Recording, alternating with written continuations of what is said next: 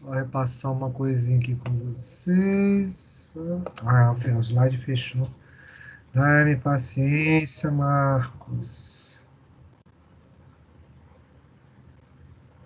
Deixa eu só abrir aqui o slide, que o slide fechou.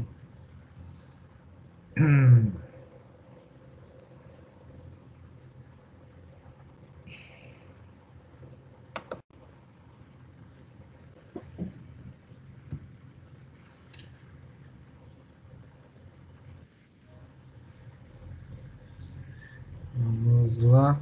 Deixa eu botar, Vou botar o povo aqui para dentro. Deixa eu só abrir o slide. Difícil, mas vai dar tudo certo no final.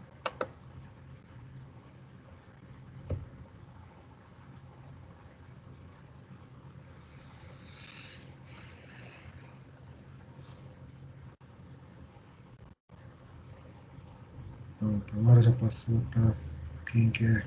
Vamos ver aqui. Beatriz. Isso, Beatriz. Leilane. Vamos lá. Prontinho. Agora vai. Então, meninos e meninas, falávamos na semana passada. Deixa eu só enquadrar aqui. Ele também saiu do lugar. Vamos ver.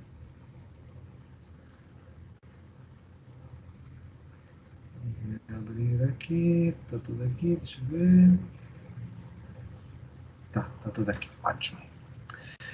Então, como conversávamos semana passada, estávamos exatamente, finalizamos aqui os eventos, só repassando, que acho que fica melhor a gente repassar essa informação aqui.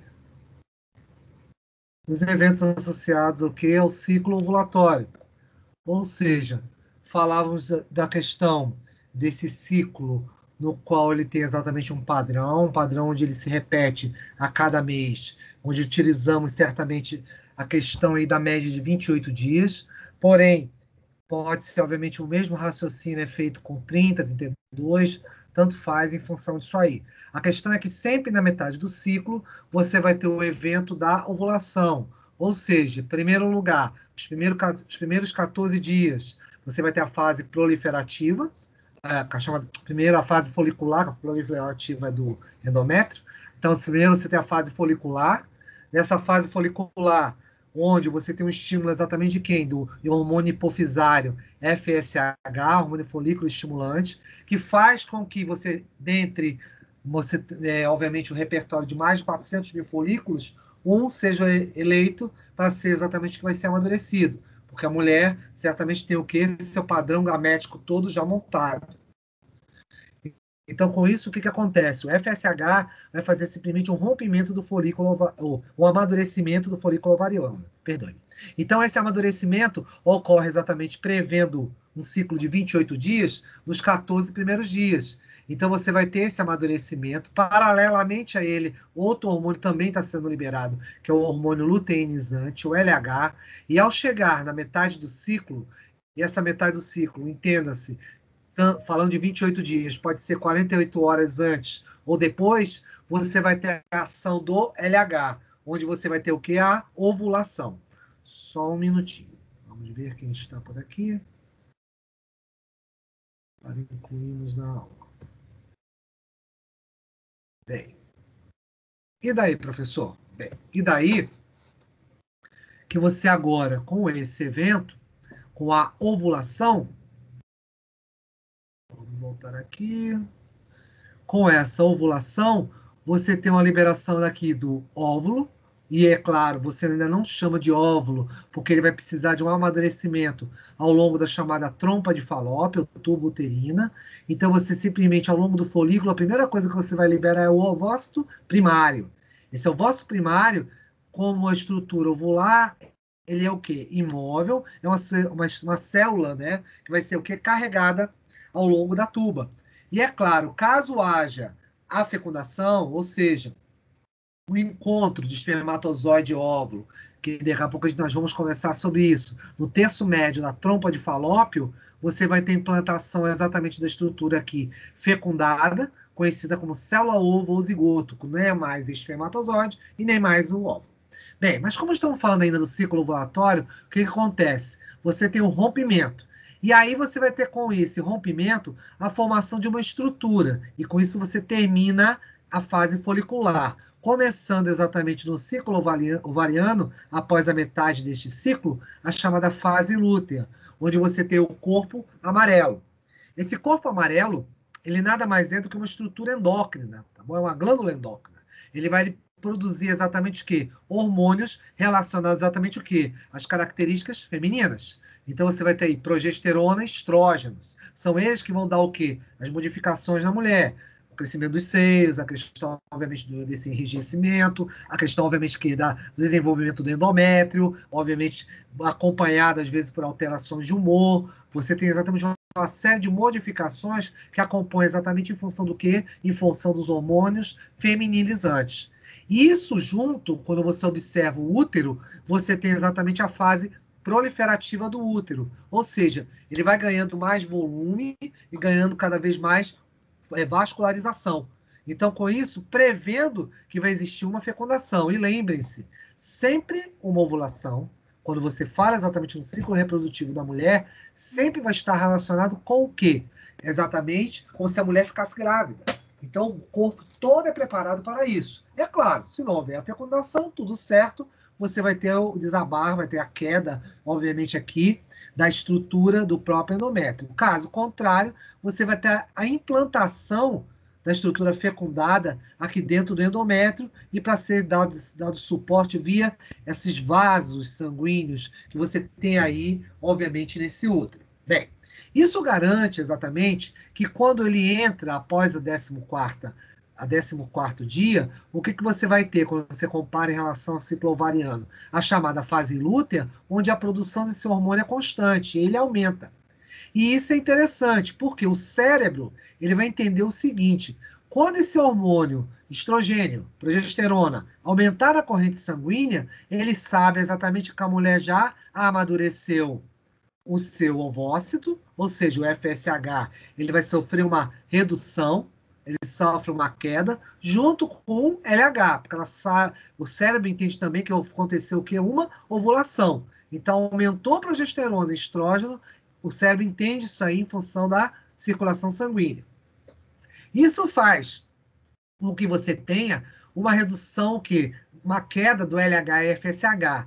E essa essa quantidade de progesterona e estrógeno uh, elevada vai manter também o que? A estrutura do endométrio que conservada. Ela vai estar exatamente o que? Mais elevada, mais vascularizada. Isso aguardando que haja fecundação.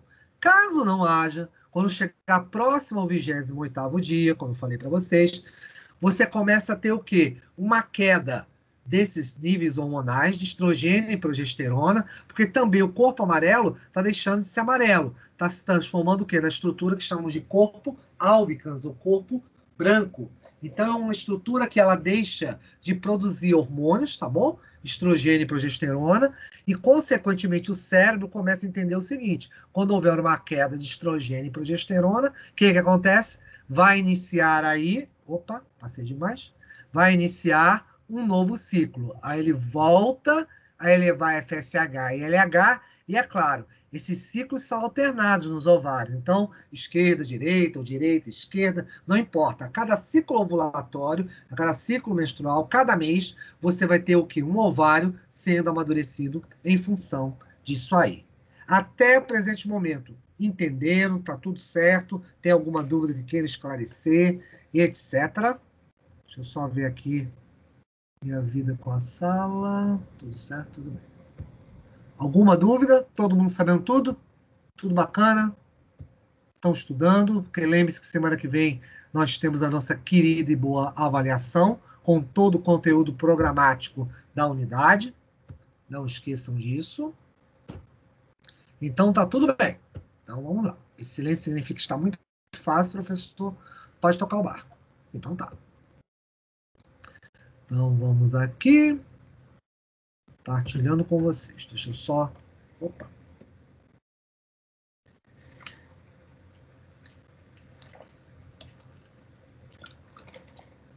Beber uma aguinha aqui. Pronto.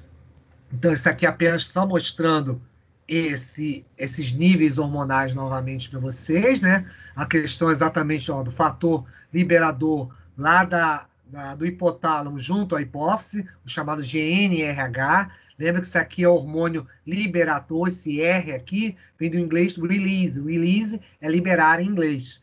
E esse GN vem de gonadotrópico ou gonadotrófico. Gônada Obviamente, a gente já explicou aqui que estamos falando de quê? Ovários para as mulheres e certamente testículos para os homens. E aqui você tem a oscilação. E aqui a escala de tempo. Tá? Conforme, peraí, conforme você tem aqui. Então, com isso, você tem aqui os 28 dias, mesma coisa. Olha aqui o evento ovular exatamente próximo ao 14º dia, já falei que isso pode ser 24, 48 horas antes ou 24, 48 horas depois. Com isso, estrogênio e progesterona aumentando e certamente esses eventos acompanhados aqui do próprio ciclo ovariano até chegar ao quê? O corpo lúteo, ou seja, a questão da, lá da estrutura do corpo amarelo virando, obviamente, o corpo albicans e, é claro, deixando de produzir a estrogênio e progesterona, consequentemente voltando a aumentar, a elevar o que as concentrações de LH e FSH. Mas vai que exatamente ocorra outra coisa. Vamos dizer o seguinte, meninos e meninas. Vamos dizer que ao invés de nós termos um ciclo ovulatório, tá bom, normal, vocês vão ter exatamente um processo onde vai ocorrer a gravidez. E o que, que vai ser na gravidez? Para que tenha gravidez, vocês vão precisar o quê? de uma série de condições as quais vão o quê? favorecer exatamente a implantação da célula fecundada. Mas como é que isso acontece? Por exemplo, quando você tem exatamente um encontro, que eu vou explicar mais detalhes mais adiante, quando você tem um encontro espermatozoide-óvulo aqui no terço médio da trompa de falópio, o que, que vai acontecer? Você vai ter uma migração aqui não mais nem de gameta masculino, mas de gameta feminino, e sim a fusão dos dois. Isso a gente chama de célula-ovo ou zigoto. Então, essa célula-ovo ou zigoto vai simplesmente o quê? Se implantar aqui na parede do endométrio. Isso se implantando lá, o que, que vai acontecer? Tem uma sinalização. O organismo sinaliza para o corpo que agora você vai ter uma substituição aí de estruturas produtoras de hormônio. Como assim? Veja pelas, pelo tempo, quando você tiver essa implantação, nós estamos aí agora já avançando não mais dos 28 dias. Você agora está falando exatamente mais ou menos uma média aí de 50 dias. Então, com isso, o que, que aconteceu? O corpo álbicas, que está aqui, já deixou muito tempo de produzir progesterona e estrogênio. Então, isso vai ter o quê? Uma sinalização a partir do momento que você tem implantação da célula ovo zigoto através de um hormônio que é conhecido como HCG, gonadotrofina coriônica humana. Professor? Opa, fale aí. Pode falar. Boa noite, tudo bem? Boa noite, tudo é, bem? Fala. Tem alunas querendo entrar e está pedindo para o senhor disponibilizar o link para a gente enviar para o grupo. Uhum. Ok, senhorita Emanuele, faço sim. Só um minutinho, por favor. Compartilhar convite. Pega aí, Emanuel. Copiado. Vou deixar aqui no chat, tá bom? Espera aí, só um minuto, que tá meio lentinho também. Só um minuto. Outra vez, que agora vai. Pronto. Apareceu para você, Manuel?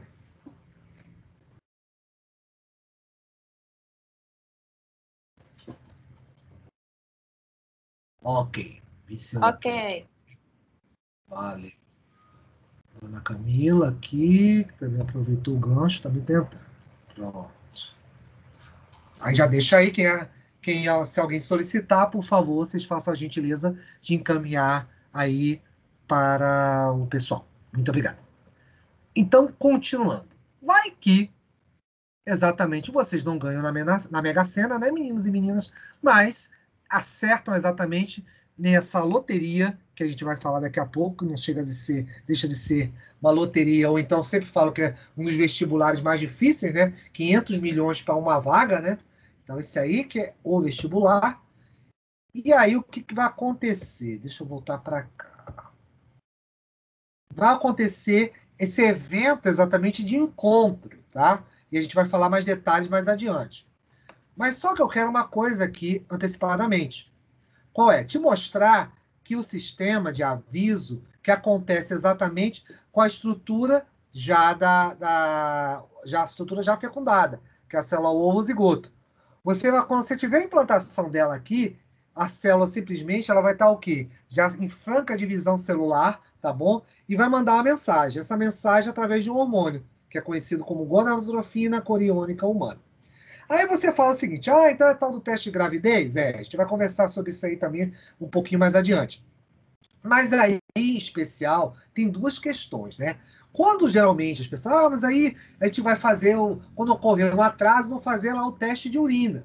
Aí é que está, às vezes, o erro. Porque quando você faz o teste de urina, você pode estar certo. Há muito tempo, quando essa, essa, esse hormônio, a gonadotrofina, o HCG, aquele teste de farmácia de urina, quando aparecer isso lá na urina, pode estar certo que já passou bastante tempo do desenvolvimento. Se você fazer uma ultra, tá quase ele aqui, ó, ou ele ou ela, não sei, né?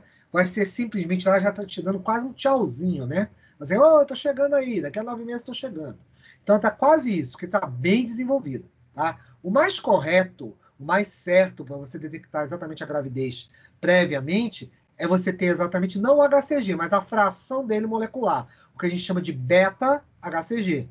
Então, beta-HCG é o que você localiza no sangue. Então, você, às vezes, com poucas horas, você já começa a ter liberação exatamente desse beta lá na corrente sanguínea. Então, já, tem pra, já dá para ter uma noção em relação à própria gravidez. Porque é aquela famosa história, né? Ah, não fez nada, você, você chegou? Não, aquelas velhas perguntas, boas velhas perguntas. Ah, não sei o que aconteceu. Então, aquele negócio que não sabe, já sabe, né? Então, com isso, o que, que acontece? Essa marcação, certamente, ocorre, o beta, quando você já tem o que? Ele a nível do plasma. Acontece exatamente, já está liberado no plasma. Na urina, você pode estar certo que há muito tempo essa, essa, gravidez, essa gravidez já se iniciou e já aconteceu a implantação da célula ovozigoto e certamente você não vai ter mais menstruações e muito menos ovulações. E por que isso? Porque os níveis de progesterona e estrógeno vão estar bastante elevados. Tá? Então, como você vai ter bastante estrógeno e progesterona elevado, por quê? Porque agora você vai ter uma nova estrutura aí produzindo esses hormônios. E quem vai ser? Vai ser exatamente a placenta. A placenta vai entrar em ação. É a placenta exatamente que assume esse papel, permitindo exatamente que você tenha o quê? Uma grande produção de estrógeno e progesterona e garanta o quê? Essa estruturação aí dele até o final da gravidez, tá? E a gente vai falar mais alguns detalhes mas daqui a pouco, quando eu falar em relação, quando ocorrer a fecundação em si, tá bom? Alguma perguntinha, alguma coisa especial? Tudo certo? Então tá bom. Está todo mundo sabendo tudo? Vamos lá. Então, com isso, o que, que aconteceu? Menstruações interrompidas, ovulações também, não ocorre mais nada, vai acontecer simplesmente a, os eventos aí de, certamente, para amadurecimento desse embrião. Mas a gente precisa falar também da própria evolução do próprio gameta masculino. Temos que falar o que acontece certamente com o senhor espermatozoide, o senhor zoidinho, né? Então, com isso, o espermatozoide, ele vai precisar ser o quê? Ter a sua estrutura amadurecida. Mas ele é diferente da, da, do óvulo quando ele surgir. O óvulo é imóvel. Ele não, ele apresenta exatamente uma estrutura que dá uma grande mobilidade a ele, um flagelo, que, que bate em alta velocidade em função disso aí. Eu sempre digo, eu gosto de chamar ele, eu falo sempre que ele é um grande carteiro. Por que carteiro? Porque exatamente ele tem uma informação aqui, nessa região próxima ao núcleo, tá bom? Onde você tem uma estrutura que, é, que comporta uma enzima que vai dissolver a parede do óvulo, uma estrutura chamada de acrossomo, que daqui a pouco eu vou conversar sobre ela também. Nesse núcleo, que é um núcleo haploide, por que haploide? Você tem aí 23 cromossomos. Lembre-se sempre disso. Você tem a metade da carga genética do indivíduo. Nós todos possuímos o quê? 46 cromossomos. Então, esses 46 cromossomos garantem exatamente o quê? A formação dos indivíduos. Então, você vai ter aí, simplesmente com isso, o quê? O desenvolvimento do indivíduo e ele vai simplesmente ter o quê? A formação de todo o seu corpo. Mas todas as células do organismo, seja desde o bulbo capilar até a ponta do dedão, você vai ver sempre 46 cromossomos, exceto num lugar apenas as gônadas, ou seja, testículos, e, é claro, os ovários, você vai ter 23 cromossomos. Ah, por quê, professor? Porque, é claro, quando você juntar 23 cromossomos do papai com 23 cromossomos da mamãe, você vai surgir com o quê? Uma célula ovozigoto com 46 e, é claro, sofrendo múltiplas divisões, como vocês vão ver dentro em breve, quando passar aí, tá bom? Bem, com esse esse raciocínio, o que, que acontece? A célula vai ter aí um núcleo, tá bom? Onde você vai ter a parte informacional, o acrossomo, onde você vai ter exatamente uma enzima bastante importante, conhecida como hialuronidase, com H, hialuronidase. Então, essa enzima vai dissolver a capa do óvulo, que é composta de ácido hialurônico, também com H. Então, esse ácido hialurônico que envolve o óvulo vai ser solubilizado pela enzima existente aonde no acrossomo, que é a enzima hialuronidase. Bem, depois você vai ter uma junção aqui, né? A gente chama de colo, onde você vai ter exatamente a estrutura do núcleo logo abaixo. Aqui você vai ter exatamente um centríolo, porque você vai ter uma divisão celular depois, tá bom? Então, centríolo, para quem lembra aí de CMC, certamente a estrutura onde você vai ter o quê? A formação dos fusos mitóticos. E uma outra estrutura que vai ser muito importante, uma organela muito importante nisso aí, vai ser a mitocôndria. E por que mitocôndria? Porque a mitocôndria vai exatamente dar o quê? Energia, ATP, para que esse flagelo possa bater, movimentar-se em alta velocidade. Então, a mitocôndria faz o quê? Como vocês já sabem? Respiração celular. Então ela vai utilizar o quê? Açúcar, glicose e transformar isso aí em ATP, CO2 e água. Tá? Então uma molécula de glicose, quando é oxidada pelo oxigênio, forma aí 38 moléculas de ATP, CO2 e água. Tudo isso aí para ele poder se deslocar e ir ao encontro lá no terço médio, no interior da mulher, no terço médio da trompa de Falópio. Tudo bem até aí, meninas? Tudo certo? Perguntas? Uhum. Silêncio significa tá tudo bem, tudo fácil. Então tá bom. Vamos lá. Então, com isso, avançando, enquanto eu bebendo água, nós temos um evento que a gente chama de capacitação dos espermatozoides. Os espermatozoides, tá bom? Quando eles são liberados, quando eles são ejaculados, tá? Eles não conseguem fertilizar o ovócito. Ele passa por um processo exatamente de capacitação, ou seja, ele vai ficar ativo exatamente para quê? Para que ele possa encontrar com o óvulo e possa romper essa camada dele. Você vai ver depois, eu vou mostrar também isso num vídeo, que existe uma camada aqui na qual permite que ele possa o quê? Ultrapassar para depois você ter o quê? A junção dos núcleos. Núcleo de quem? Do óvulo, 23 cromossomos, com o núcleo lá do espermatozoide, mais 23 cromossomos. Então, com isso, nesse período de capacitação, e por uma média de sete horas, você vai ter uma alteração, certamente, dessa estrutura, até ele se encontrar lá nas tubas uterinas com esse óvulo. Você simplesmente aí, você vai ter um evento em que essa capacitação dos espermatozoides, tá bom? Ela pode também ser feita in vitro, tá? Geralmente é o que a gente chama de fertilização in vitro. E depois você pega esse espermatozoide e o insere diretamente a parte, a parte da carga genética dele, diretamente no núcleo, você vai fazer fertilização nas, nas mulheres, fertilização in vitro, e fazer implantação da estrutura fecundada. Isso tudo é feito fora da mulher e depois a estrutura ovo-zigota é implantada na mulher, quando a mulher tem dificuldades para engravidar em função disso aí. Então, você tem ao redor desse espermatozoide glicoproteínas, tá bom? De proteção daí, então, com isso, para você vai liberá-las depois. Com essa liberação, a estrutura do, do espermatozoide está apta a poder nadar em direção ao que ao óvulo.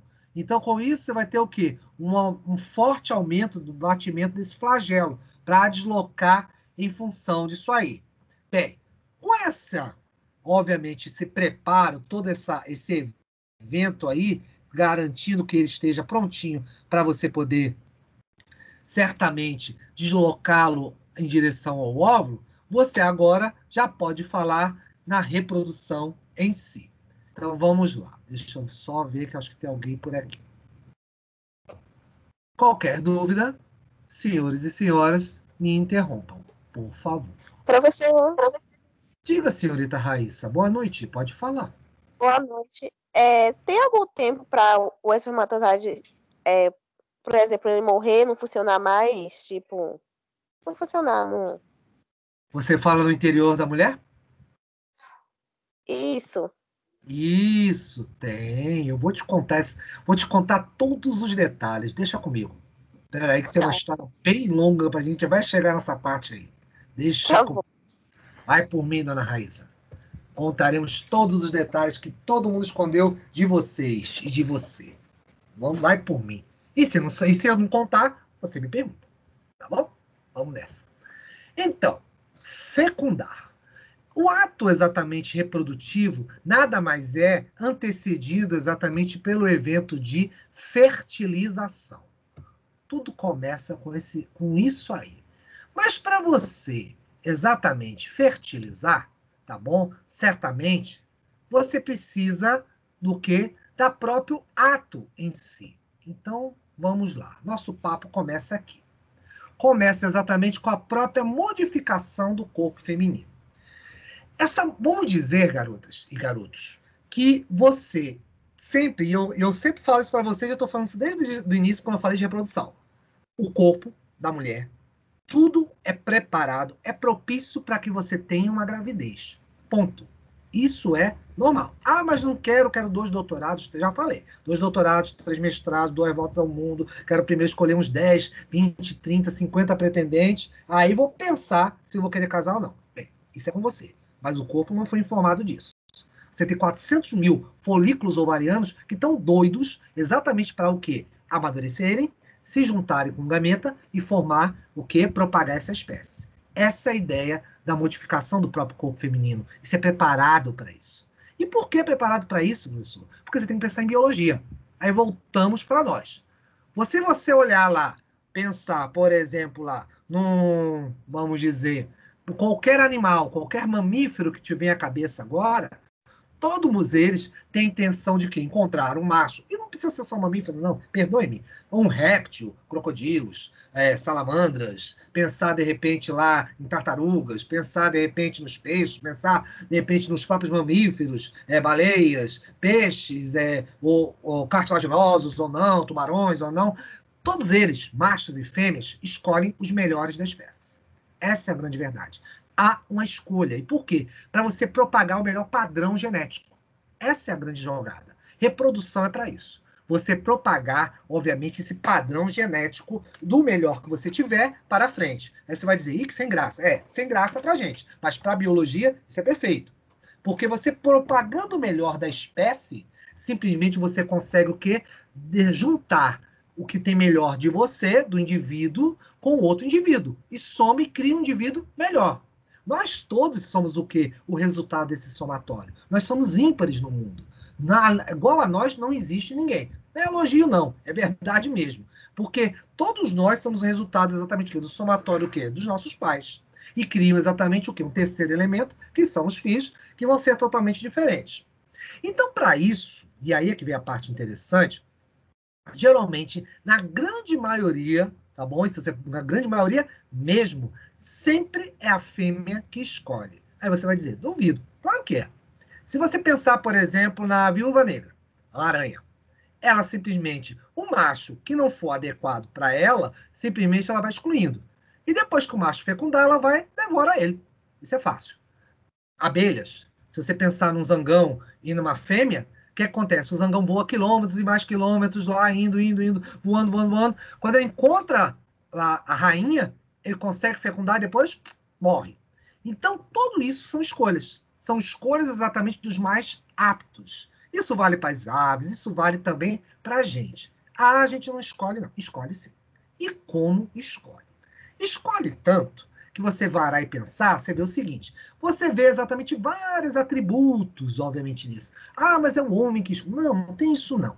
Vocês podem estar certos disso. Quando ocorre a ovulação, querendo ou não querendo, existe uma série de cargas hormonais que dão exatamente um diferencial para vocês do sexo feminino. Isso é normal. Isso é exatamente um evento atrativo, um evento exatamente o quê? No qual você gera exatamente um indivíduo para que você possa o quê? Escolher, atrair os melhores componentes participantes da espécie. Isso exatamente, você vê isso também nos próprios mamíferos. Você vê aqueles rituais de acasalamento, você vê a questão dos, dos machos, das fêmeas, leões, vários animais têm isso, têm esses rituais. E no caso do homem, é a mesma coisa. Você também faz suas escolhas. Você certamente não quer se juntar com qualquer um. Isso é normal e é óbvio. Você quer buscar o melhor, obviamente, do outro, no parceiro, um companheiro, etc, etc. Várias características. E tudo isso é somado exatamente com o quê? Com o evento biológico. E por que isso está um evento biológico? Porque exatamente existem eventos sensoriais. Existem eventos sensoriais que são dados exatamente o quê? Pelos hormônios. E principalmente, se você notar, isso acontece quando você chega no período que ovulatório. Pensa numa coisa, no período ovulatório, por exemplo, quando você tem a gravidez, até quando os ali até um bom, um bom exemplo, quando chega na gravidez, os hormônios estrogênicos e progesterona se elevam. Você nota como a grávida fica bonita, o cabelo brilha mais, a pele fica sedosa, os olhos brilham. Aquilo é normal, aquilo é dado exatamente pelos hormônios femininos. Então, isso acontece também na ovulação. Se vocês não pararam para pensar, pensem nisso. Espera aí que a gente tem que botar alguém aqui para dentro. E daí, professor? Não tinha parado para pensar nessa história. Pois é, então pare e pense de agora em diante.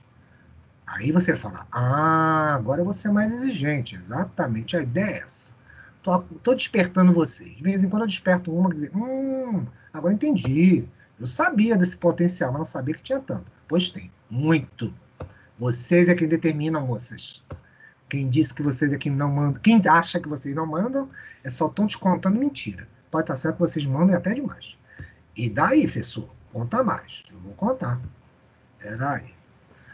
Então, como eu disse para vocês, o próprio ato em si, garotos, envolve uma série de questões que vão desde eventos o quê? do cérebro, eventos obviamente associados com o próprio psico, a psique, com, o, o, própria fantasia em si, e se somam os hormônios. Vamos dizer que as coisas todas se potencializam, elas vão se somando. Obviamente, você, quando encontra a pessoa adequada, vale também para um lado também da mulher, do homem, né? vale para os dois lados, tá bom? Isso tudo vai se aumentando, vai somando. E esse somar, exatamente, vai envolver exatamente os hormônios sexuais. E isso, em especial, é mais interessante por causa do quê? Do estrógeno. E aí é que vem a parte interessante. Toda parte do que o espermatozoide vai ter que vencer depende exatamente de uma adaptação da mulher. Porque daqui a pouco eu vou mostrar isso. Você tem o quê? O próprio canal vaginal, você tem exatamente a entrada para o útero, a questão das trompas de falópio. Esses eventos todos têm que estar propícios para esse encontro. E eu já falei uma coisa para vocês. Os estrógenos e progesterona aumentam o quê? Contração da musculatura lisa. É como se eles pegassem e puxassem os gametas em direção o quê? A célula, a célula ao ovócito, que vai se tornar depois o óvulo. Então isso acontece de uma forma natural, porque exatamente esse evento que de atração é um quimiotático, é o que a gente chama de fator quimiotático em biologia. É uma atrativa exatamente para atrair os gametas, para haver esse encontro. E daí? Bem, isso aí se soma ainda. Ah, eu achei que só tinha abelha que tinha isso, mas nós temos os feromônios. O que, que são os feromônios? São exatamente aqueles hormônios que dão aquele, vamos dizer assim, despertam vocês. Despertam tanto o lado feminino como o lado masculino você nota é, particularidades, coisas, às vezes as palavras. É aquela coisa do flerte, aquela coisa da corte, né?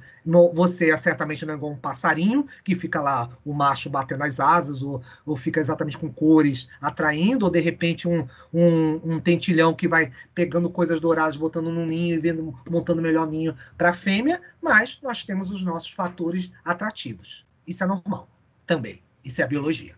E essa biologia funciona e muito, até hoje. Você pode dizer que não, pode dizer que está imune, pode dizer que está isso e aquilo, mas naquele dia que bate o tchan, já viu. Então, com isso, o que, que acontece? Esses eventos sensoriais vão aumentando. E isso você nota exatamente pelos órgãos sentidos. sentido. Tem olfato? Tem, mas tem o quê? Visão, tato, tudo isso vai se juntar e vai exatamente aumentar. E esse aumento, e aí que vem a parte interessante, reflete tanto na mulher como no homem. Ah, mas sempre ouvi falar que o homem é muito mais visual. É, mas só que a, a grande diferença dos dois é a seguinte: é o tempo. O tempo exatamente que você tem de estimulação. O tempo de estimulação da mulher é um pouco mais longo, leva um pouco mais de tempo em relação ao homem. Então é aquela famosa história, né? De vez em quando tem uns homens que são meio coelhinhos, né? Então você tem que administrar isso, conversa com seu parceiro, ó, oh, vamos com calma e tal, preliminares, blá, blá, blá, blá. Esse papo todo.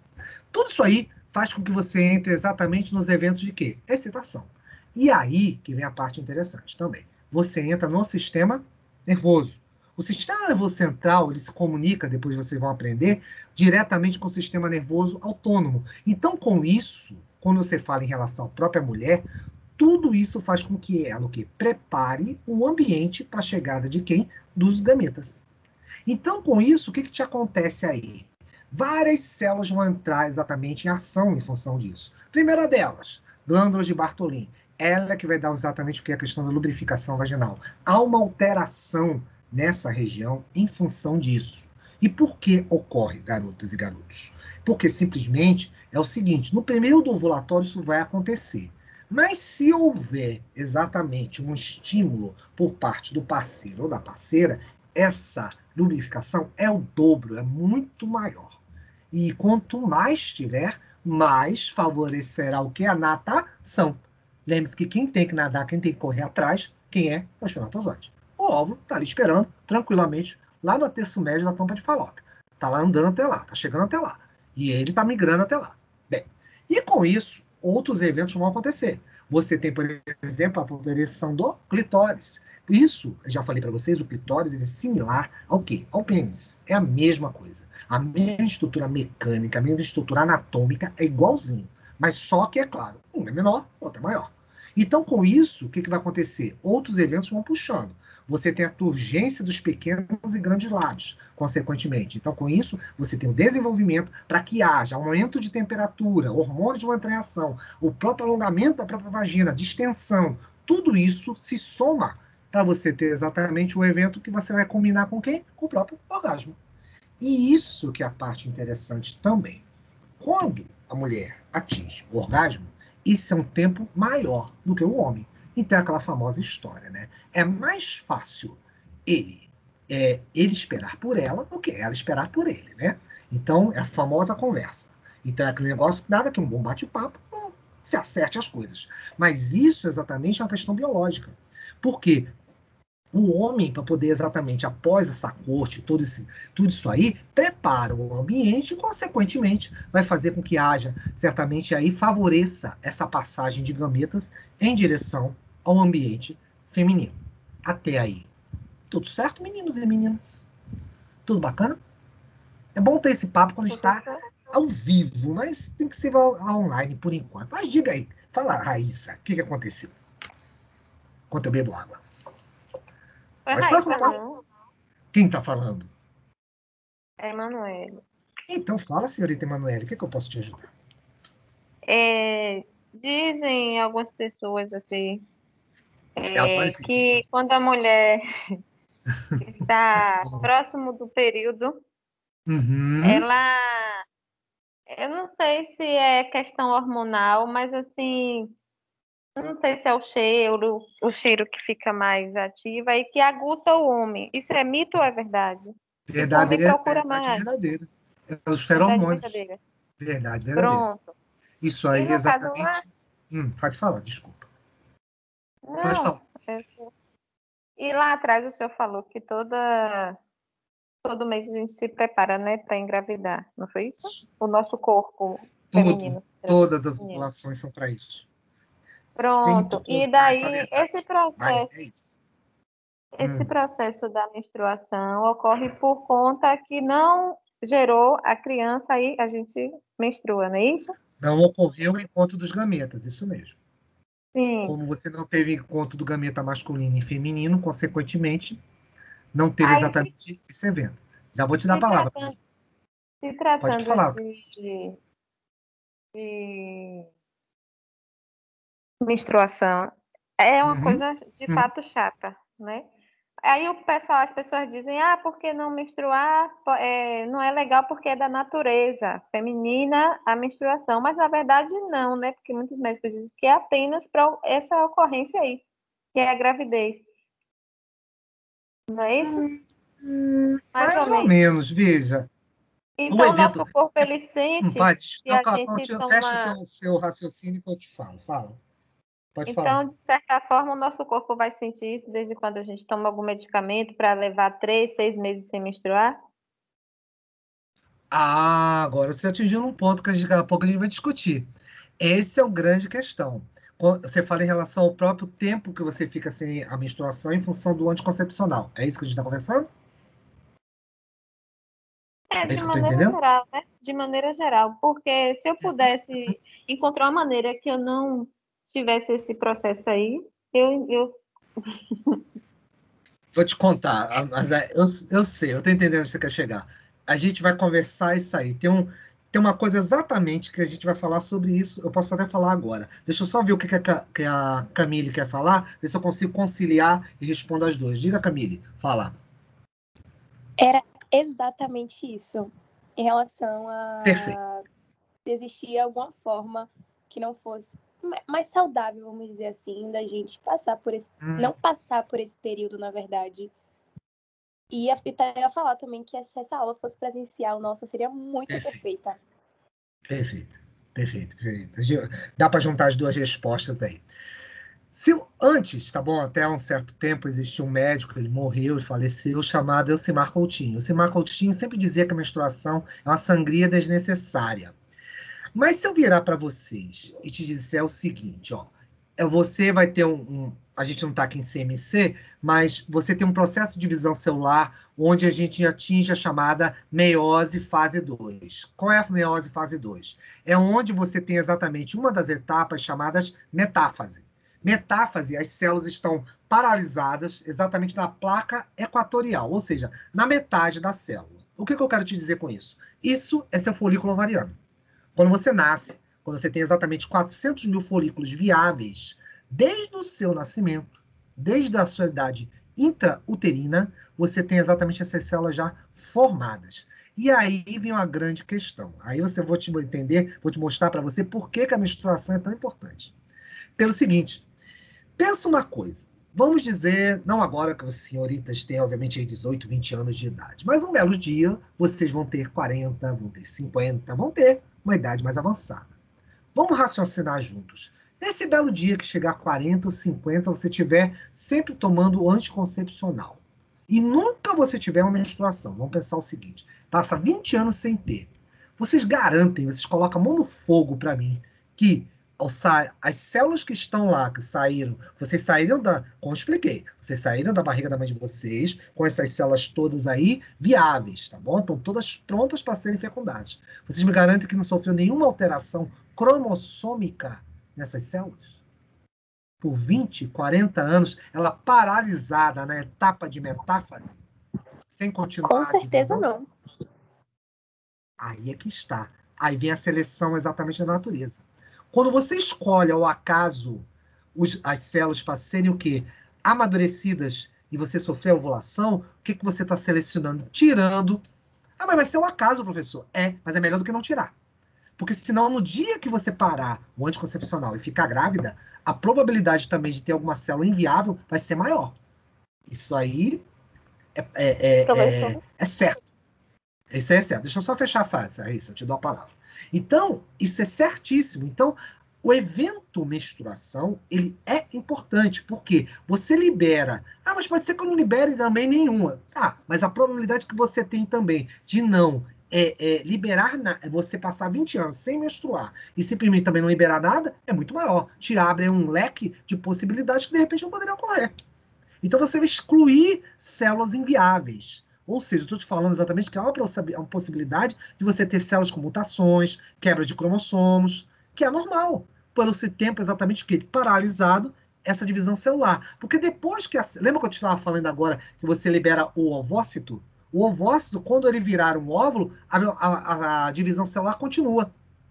E aí a questão, aí ela vira um óvulo no final. Mas aí que está o problema. Será que aquela célula que foi escolhida ao acaso é uma célula viável? Você não tem como responder.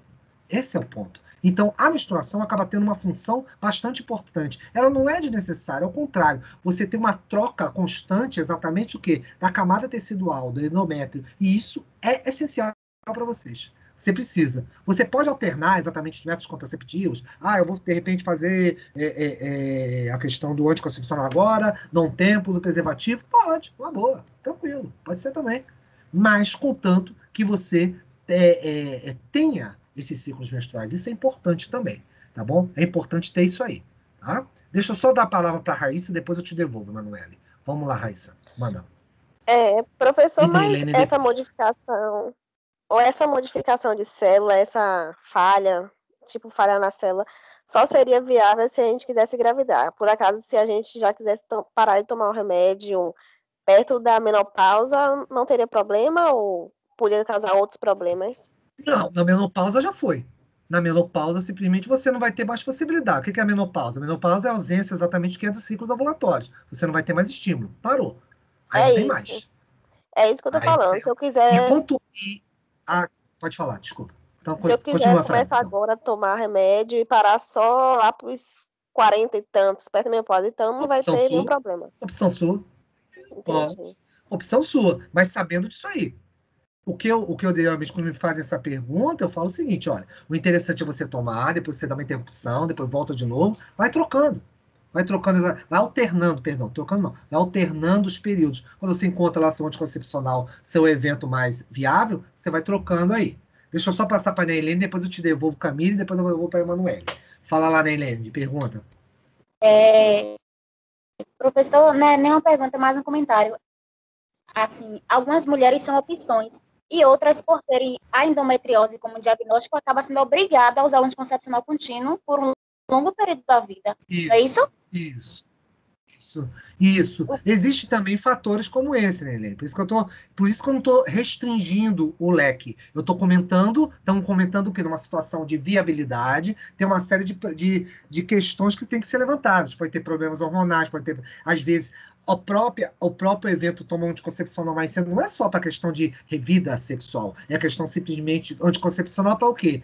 Ter, é, diminuir enjoos, diminuir dores de cabeça, uma série de outros fatores, às vezes espinhas, gorduras, porque exatamente o estrógeno, ele mexe com reservas de gordura, então tudo isso aí tem que ser considerado. É um papo com o ginecologista, acabou.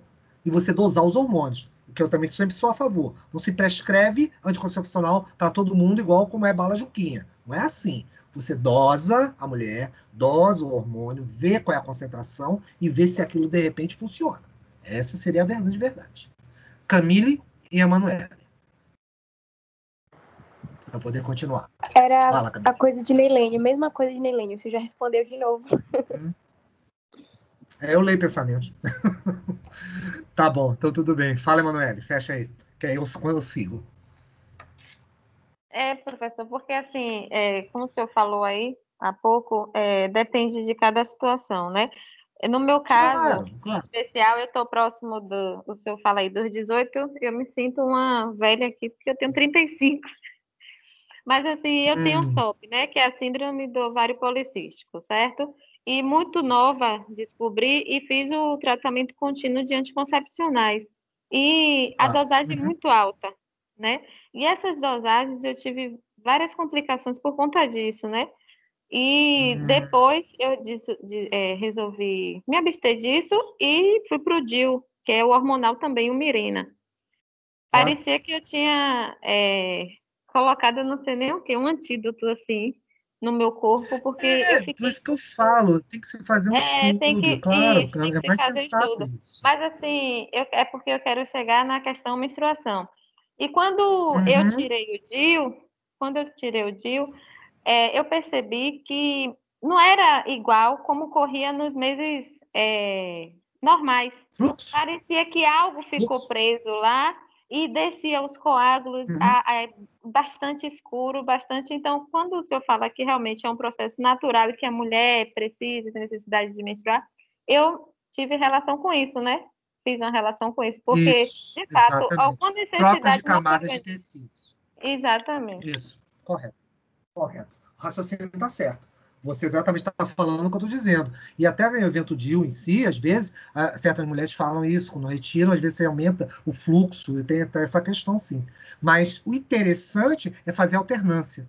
Não só ficar em hormônios, porque o hormônio, vou falar uma coisa agora para todo mundo ao mesmo tempo. É o seguinte, ele é eficiente? É, mas só que tem um detalhe. Por exemplo, se você cismar de parar agora e querer ter filho daqui a dois meses, às vezes não funciona assim.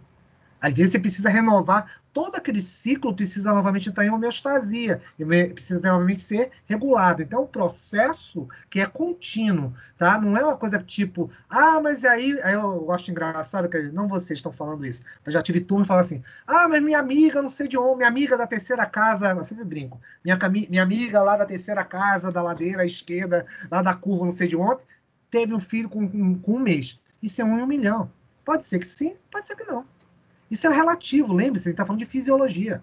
Fisiologia não é um relógio correto. Hoje mesmo eu estava dando aula sobre hormônios.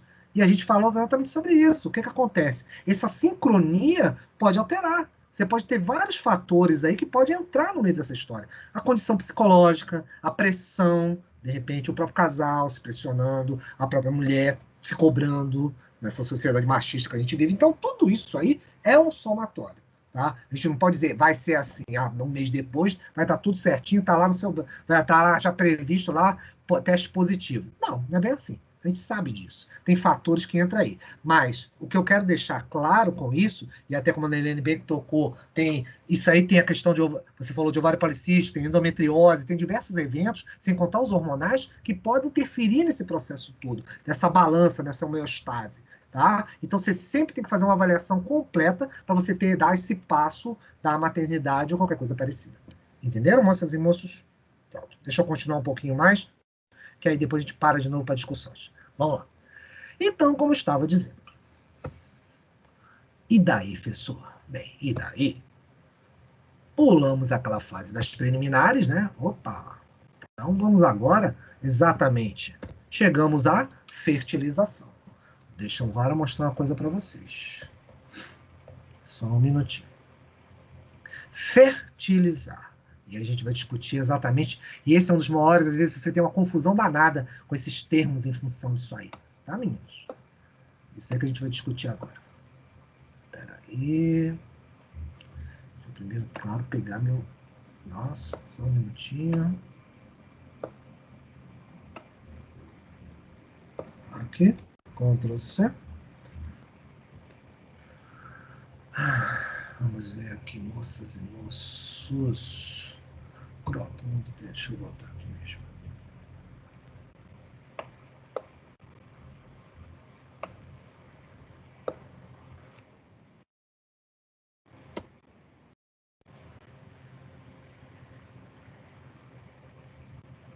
Só um minutinho, deixa eu carregar que eu já partilhei, vou partilhar com vocês.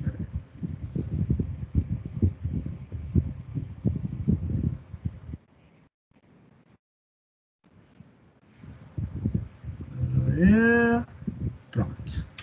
Deixa eu pular aqui. Pronto. Agora já dá para a gente partilhar. Só um minuto.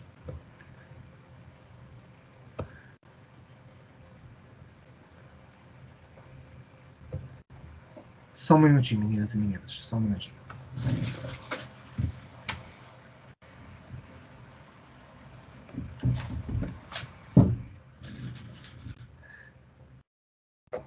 Continuando. Vamos lá.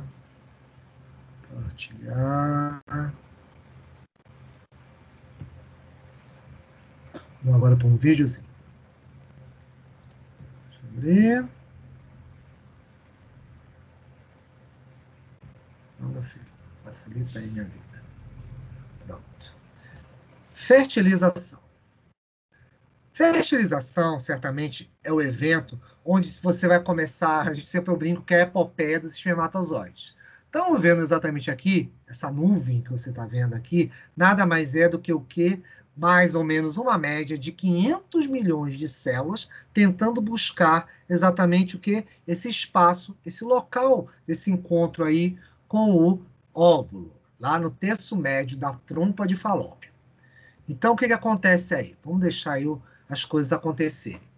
você certamente teve todo aquele evento em que há toda essa corte, todo esse encontro, obviamente todos os essa possibilidades aí de coisas que podem dar errado também, porque mesmo os espermatozoides todos sendo liberados ao mesmo tempo, a gente tem que pensar o seguinte, eu uh, falando agora de aparelho reprodutor masculino, você tem o mesmo local de saída onde passa a urina pela região peniana, você também tem, ou seja, excreta, que é ácido, você também tem o quê? As células. Essas células são altamente sensíveis ao quê? A ácido, pHs baixos. Então ela morre facilmente. Então quer dizer, tanto vale isso no pênis do homem, como isso vale também o quê? Na vagina da mulher. Por isso que ambos os locais têm que estar o quê? De determinada forma, com um pH mais alcalino.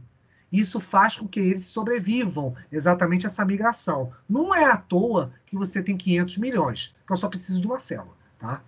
Então, com isso, o que, que vai acontecer aí? Essa migração vai começar e eles vão todos nadando desesperadamente ao redor de um objetivo. Quimiotaticamente, tá bom? Eles vão ter aqui, aqui a questão do ácido que eu estava falando. Eles são simplesmente, ó, peraí, avancei demais. Aqui, simplesmente eles são, ó, vou mostrar aqui. Destruídos. O ácido exatamente desintegra as membranas deles. Eles morrem. Mas por esse motivo, você tem aí 500 milhões no meio dessa história. Então, essa migração vai ocorrer. Isso certamente vai proteger. E tem um detalhe: o esperma, ele não faz apenas. E é um outro ponto também que às vezes há uma, uma, uma confusão nisso. Ele não cuida apenas do evento nutritivo do evento exatamente de liberação para os gametos masculinos no homem. Ele também vai ajudar nesse deslocamento na mulher. Porque essa alcalinização vai ocorrer ao longo do que? Da própria vagina em direção ao útero. Então, com isso, o que, que acontece? Esses eventos de preparação do ambiente vão estar associados ao esperma, porque o esperma tem, é uma composição de vários líquidos. Você tem ali açúcares, como frutose, açúcares de pequena, de baixo peso molecular, que são rapidamente consumidos pelas mitocôndrias, para ele poder nadar, ele bater exatamente o que? A questão exatamente dos, dos flagelos.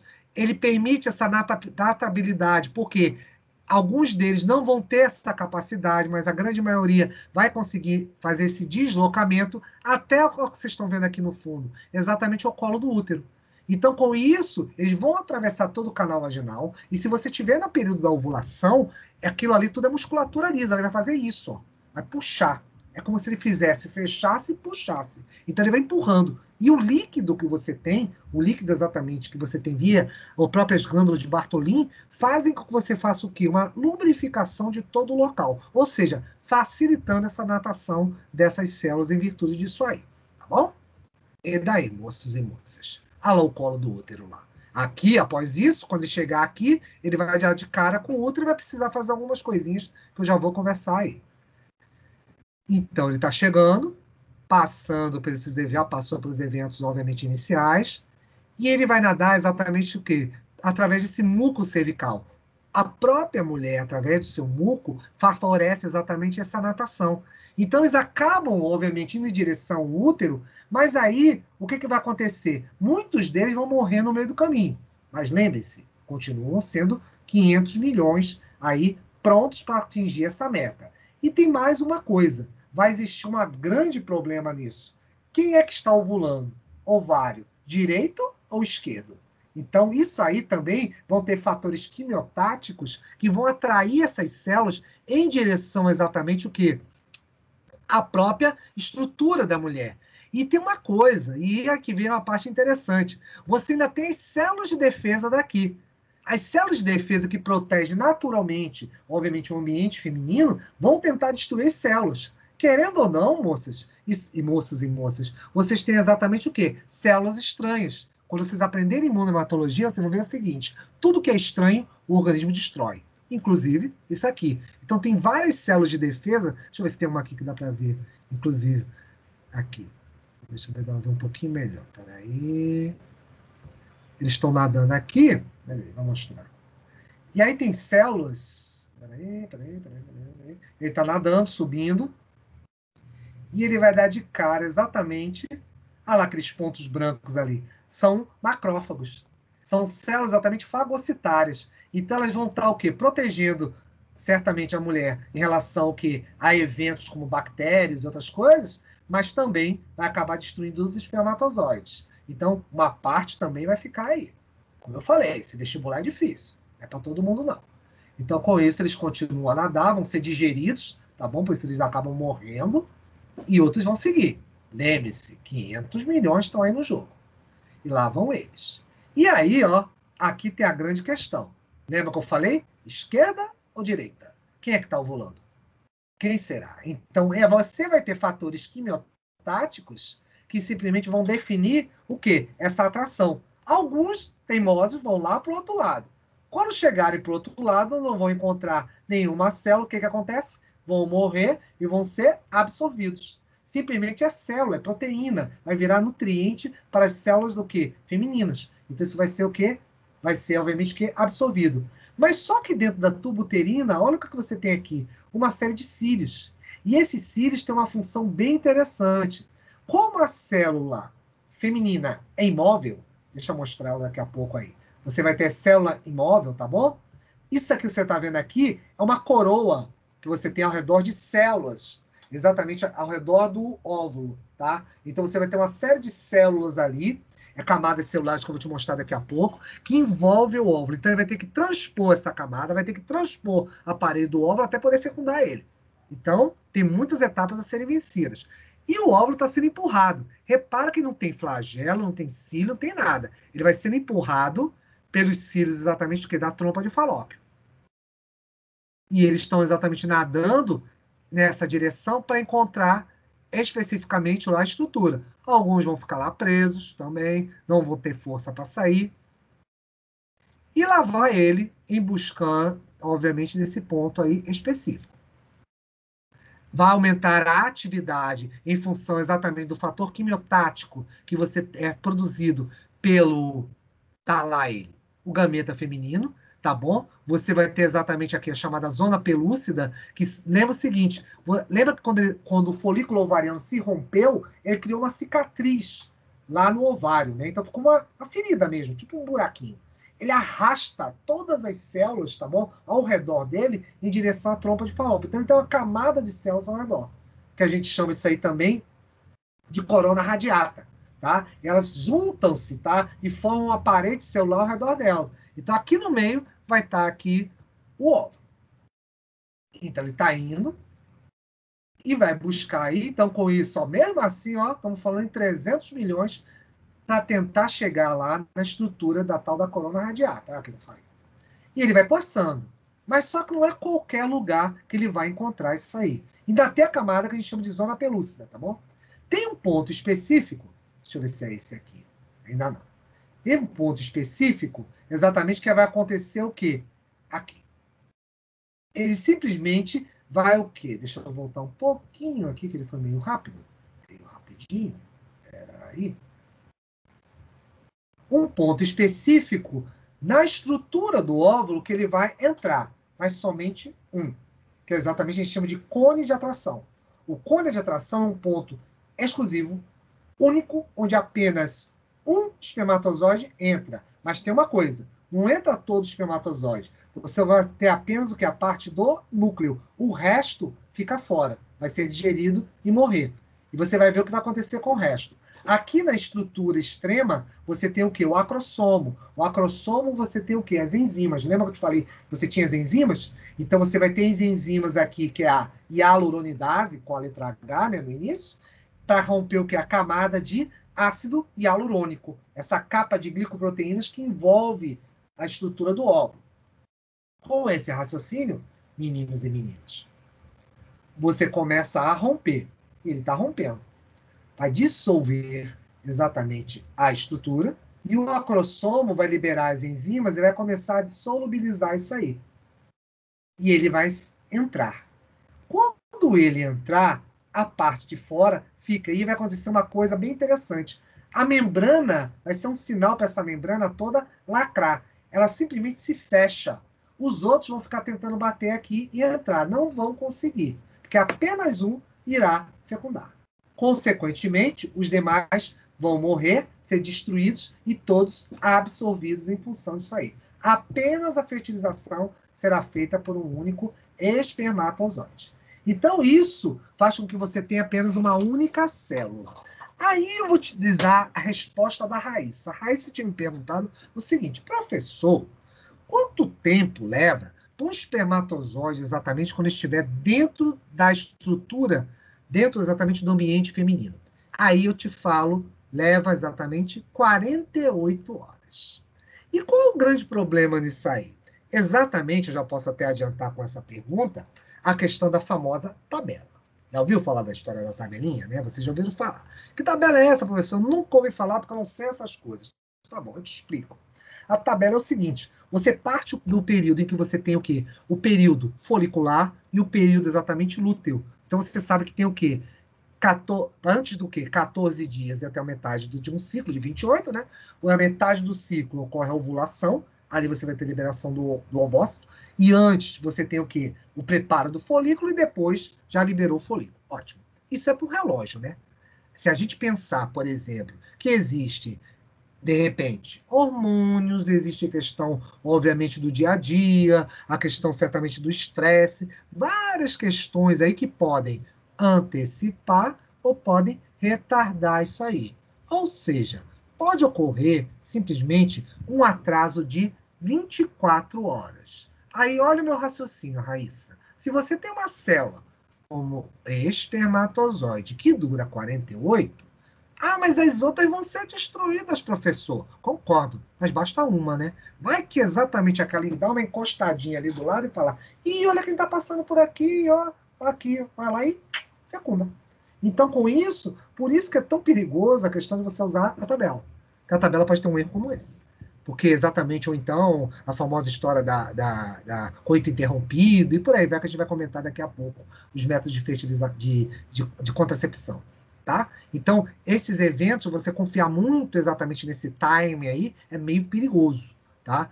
Pode acontecer eventos que façam o quê? Acelerar a ovulação ou retardar a ovulação. Por isso, que é mais, obviamente, aceitável a questão lá do preservativo, anticoncepcional e outras coisas mais que vamos falar em DIU e por aí vai. Bem, com esse raciocínio, só para continuar, você vai ter o quê? A membrana do ovócito aí vai impedir, vai começar a lacrar, os outros não vão começar a entrar, e com isso você vai ter a destruição de quem? Dos demais células. Então, todos eles vão ser destruídos. E ele vai começar a fazer o quê? Uma o que a gente chama de lacrar a própria célula. Então ela se fecha.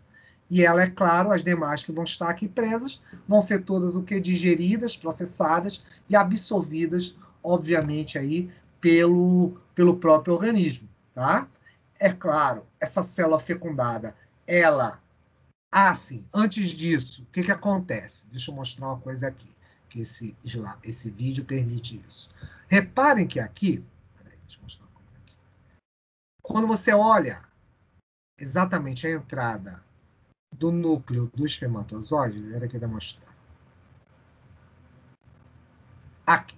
Você lembra que tinha os centríolos? Que eu falei agora? Centríolos é uma estrutura que vai formar exatamente a estrutura dos chamados fusos mictóticos. Isso aqui é do espermatozoide, tá? Toda a membrana vai se desfazer. Por quê? Logo, logo vai encontrar aqui com a carga genética da fêmea, da mãe. Então, com isso que acontece, o macho vai liberar o quê? Esse material genético, eles vão fusionar. Por isso que os 23 cromossomos que estão aqui vão juntar com os 23 cromossomos dela. E você vai ter uma célula com 46. Então, você não vai ter mais óvulo, não vai ter mais espermatozoide. Você vai ter uma célula ovo ou zigoto. É isso que vai acontecer agora. Aí desfaz. Você vai juntar a carga genética todo mundo, todo mundo aí, tá? Isso que você está exatamente vendo é a fusão dos chamados pronúcleos masculinos, junta com o núcleo feminino, aqui, ó, os 23 cromossomos. Aqui os cromossomos espiralizados. Lembre-se que cromossomo, meninos e meninas, nada mais é do que o quê? DNA compactado, cheio de informação. Então, informação do papai e informação da mamãe. Você mistura os dois. E com isso aí, você junta aqui, ó. Olha os centríolos aqui. Você tem exatamente os fusos mitóticos, onde você tem o quê? O cromossomo preso em função disso aí. Depois disso, e tem um detalhe, ah, uma coisa que eu esqueci. Lembra da história da divisão meiótica, quando eu estava falando que a célula fica estacionária lá, não sei quantos anos? O óvulo vai terminar isso aí. quando ele terminar exatamente esse processo, ele vira essa célula haploide. Aí ele fica apto para ver cromo, a junção dos cromossomos, tanto do do é, masculino como o feminino. Aqui você acabando a divisão, ó, exatamente do feminino. E agora, 23 cromossomos. 23 cromossomos prontos vai permitir que haja o que é chamado o quê? Fusão dos pronúcleos. E os pronúcleos vão se juntar, do homem e da mulher. Eles se juntam e você vai ter um ser diploide com 46 cromossomos. Aqui, ó, parou. Isso aqui é a placa equatorial. Isso aqui está exatamente na metade da célula. Mas que célula é essa agora? Estamos falando da célula ovo ou zigoto. Você acabou exatamente, quando o espermatozoide entrou, fez exatamente o quê? O processo de fertilização, ele, ele acaba e você tem o processo de fecundação. Fecundar é isso aí. Então você faz com que surja o quê? Um único genoma, ou seja, um único padrão genético para essa célula. Então agora célula ovo-zigoto vai estar o quê? Uma soma do pai e da mãe. Por isso que a gente fala que nós, todos filhos, somos filhos, somos o quê? Somatório dos nossos pais. Por isso que nós somos únicos. Então com isso, você vai ter esse somatório, tudo vai se juntar agora e ele continua a divisão celular. Então aí você vai ter agora os chamados autossomos, cromossomos sexuais aí no meio, e aí você vai ter as divisões celulares. Em especial, estamos falando de quem? Da mitose. Mitose é divisão de onde você tem o quê? A partir de uma célula mãe, você origina outras duas células filhas exatamente iguais o que a progenitora, a fêmea. Entenderam? Isso aí. Com isso, perguntas? Alguma coisa? Eles acabam se dividindo. Ah, então acabou a gente vai embora. Não, ok? Não entendi. Entendeu? Sim, eu tenho pergunta. Ah, manda aí. É, o senhor falou esse processo ele dura 48 horas, certo? Não, eu falei que a durabilidade do espermatozoide dentro do corpo da mulher é de 48 horas após Exatamente. a fertilização. Então, quando se trata de pílula do dia seguinte, então é de certa forma um aborto, né? Hum, vamos dizer o seguinte: você não. não a, a pílula do dia seguinte ela entra com o seguinte aspecto. Em função da quantidade de cargas de hormonais, ela não permite, e, e outras estruturas que você tem na pílula, ela não perti, permite um processo que a gente chama de nidação. Nidação exatamente é a implantação do quê? Da estrutura fecundada. Ele não consegue é, entrar para dentro do, do, do endométrio. Você não tem a fixação aí. Aí depende da sua concepção que você tem aí de vida. Aí varia para cada um dos fregueses, né? Alguns acham que o aborto é exatamente a partir do embrião, outros são exatamente a pós-fecundação. Varia de indivíduo para indivíduo. E outra Entendeu, coisa, quando, quando há essa junção, quando ocorre de, de, ser gêmeos, como é o processo? Ah, isso é uma história para daqui a pouco ainda. Agora não. Vamos primeiro conversar de outras coisas. Vamos chegar lá. Vou te contar que eu te conto que são, como é que é a história dos gêmeos univitelinos e bivitelinos, mas não agora. Agora é uma outra história. Isso aí é uma outra história. Aí eu te falei, ah, aqui. Vamos primeiro entender viabilidade. Olha a história aqui da viabilidade que eu disse para vocês. Ó. O ovócito viável vai ter 24 horas, o espermatozoide vi viável 48 horas. Por isso, nada de confiar, meninos e meninas, em histórias de, de tabelinha e dizer, não, amor, eu sei exatamente como você funciona, eu tenho certeza. Esse papo de tenho certeza é uma coisa, é um problema depois. Então, nada de esse papo de tenho certeza. Por quê? O que, que acontece? Até a ideia, só para fechar o que a Emanuele está perguntando, é que a pílula do dia seguinte impede exatamente o evento que chamamos de nidação. Nidação é implantação exatamente de quem? Da estrutura do embrião, aonde? Na parede do endométrio, em função disso aí. Tá? E aí, tudo que eu falei para vocês, vocês vão ter a reação acrossômica, exatamente junto à corona radiata, perfume. Vou passar um pouquinho mais rápido aqui, isso tudo a gente viu lá no vídeo, tá? Aí você entra aqui e consegue exatamente essa junção. Há um, lacramos, vamos chamar dessa maneira, a estrutura da própria o quê? O óvulo vai ser lacrado, impedindo que as outras células, ou seja, os outros gametas possam fecundar. Ocorre uma série de eventos químicos aqui em função disso, que chamamos de reações de zona, que exatamente vai o quê? ter alterações em relação ao cálcio e liberação de algumas enzimas, exatamente nessas regiões. E possibilitando, obviamente, isso aí. E isso é interessante, tá? Quando a gente fala, por isso que eu botei isso aqui, é que quando você compara, inclusive, os embriões logo no início, nós todos temos muito parentesco em relação a uma série de animais.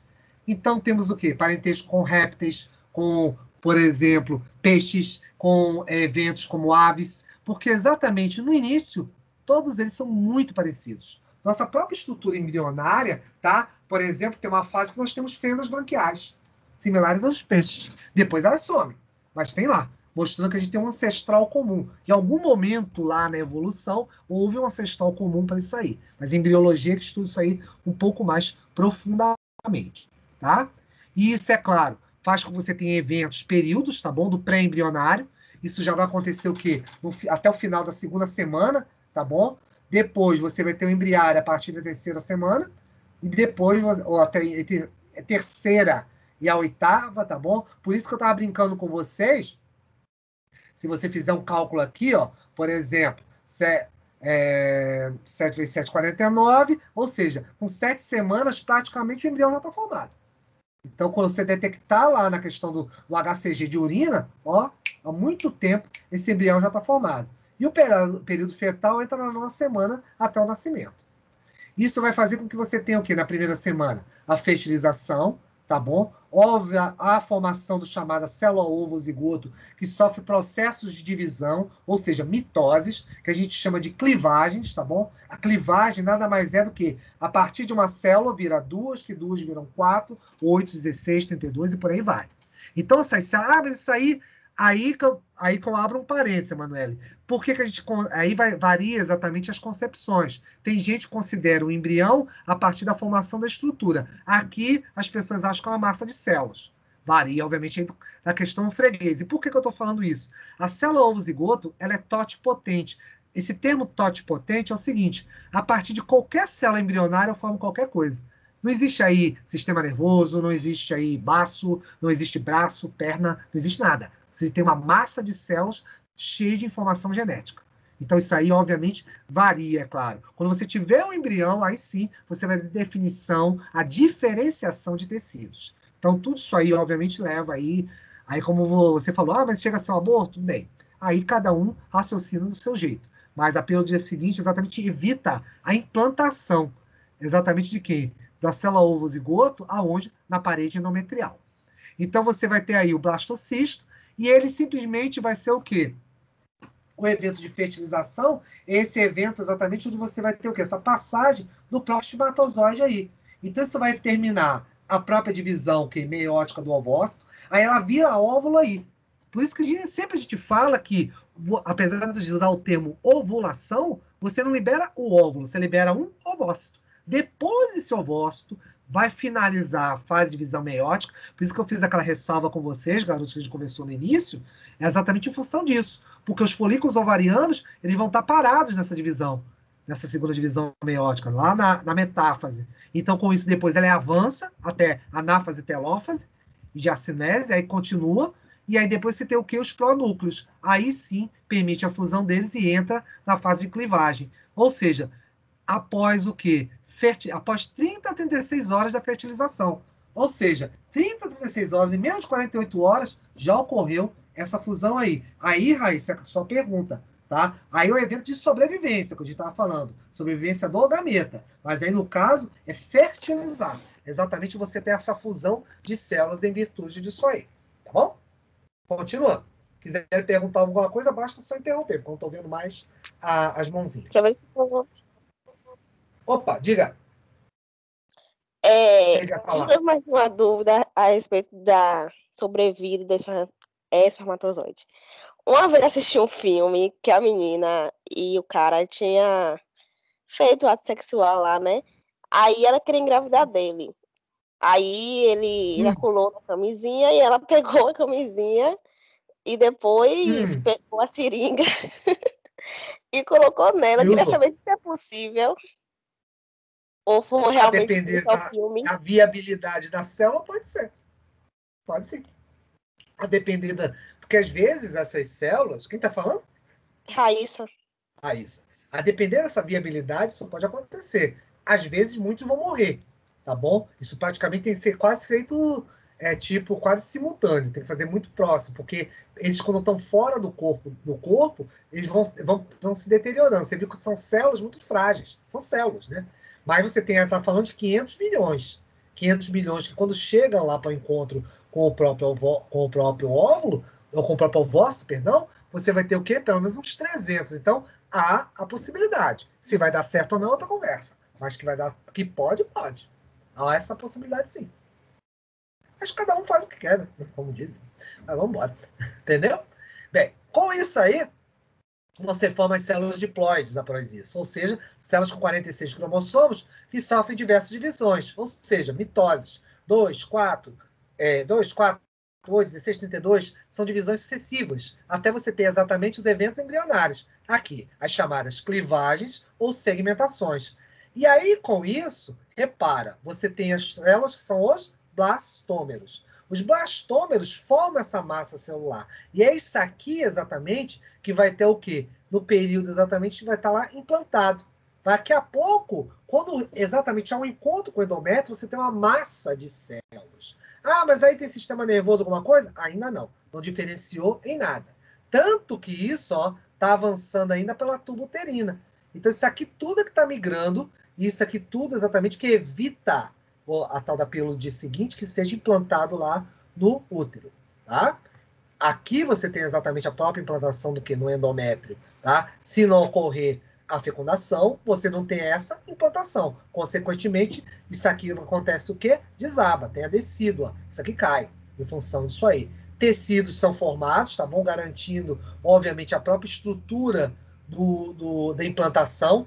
Tem esse chamado trofoblasto, que vai solubilizar essa parede, fazendo com que ele possa entrar aqui dentro do endométrio, tá bom? Aí, para mostrar um pouquinho a vocês aí do que acontece, tá? Se ocorrer a fecundação, isso aqui já segue dividindo, praticamente já pronto, ele vai solubilizando a parede endometrial. Por que ele solubiliza? Vocês têm que lembrar que o que? Estrógenos e progesterona garantiam o quê? A vascularização disso aqui.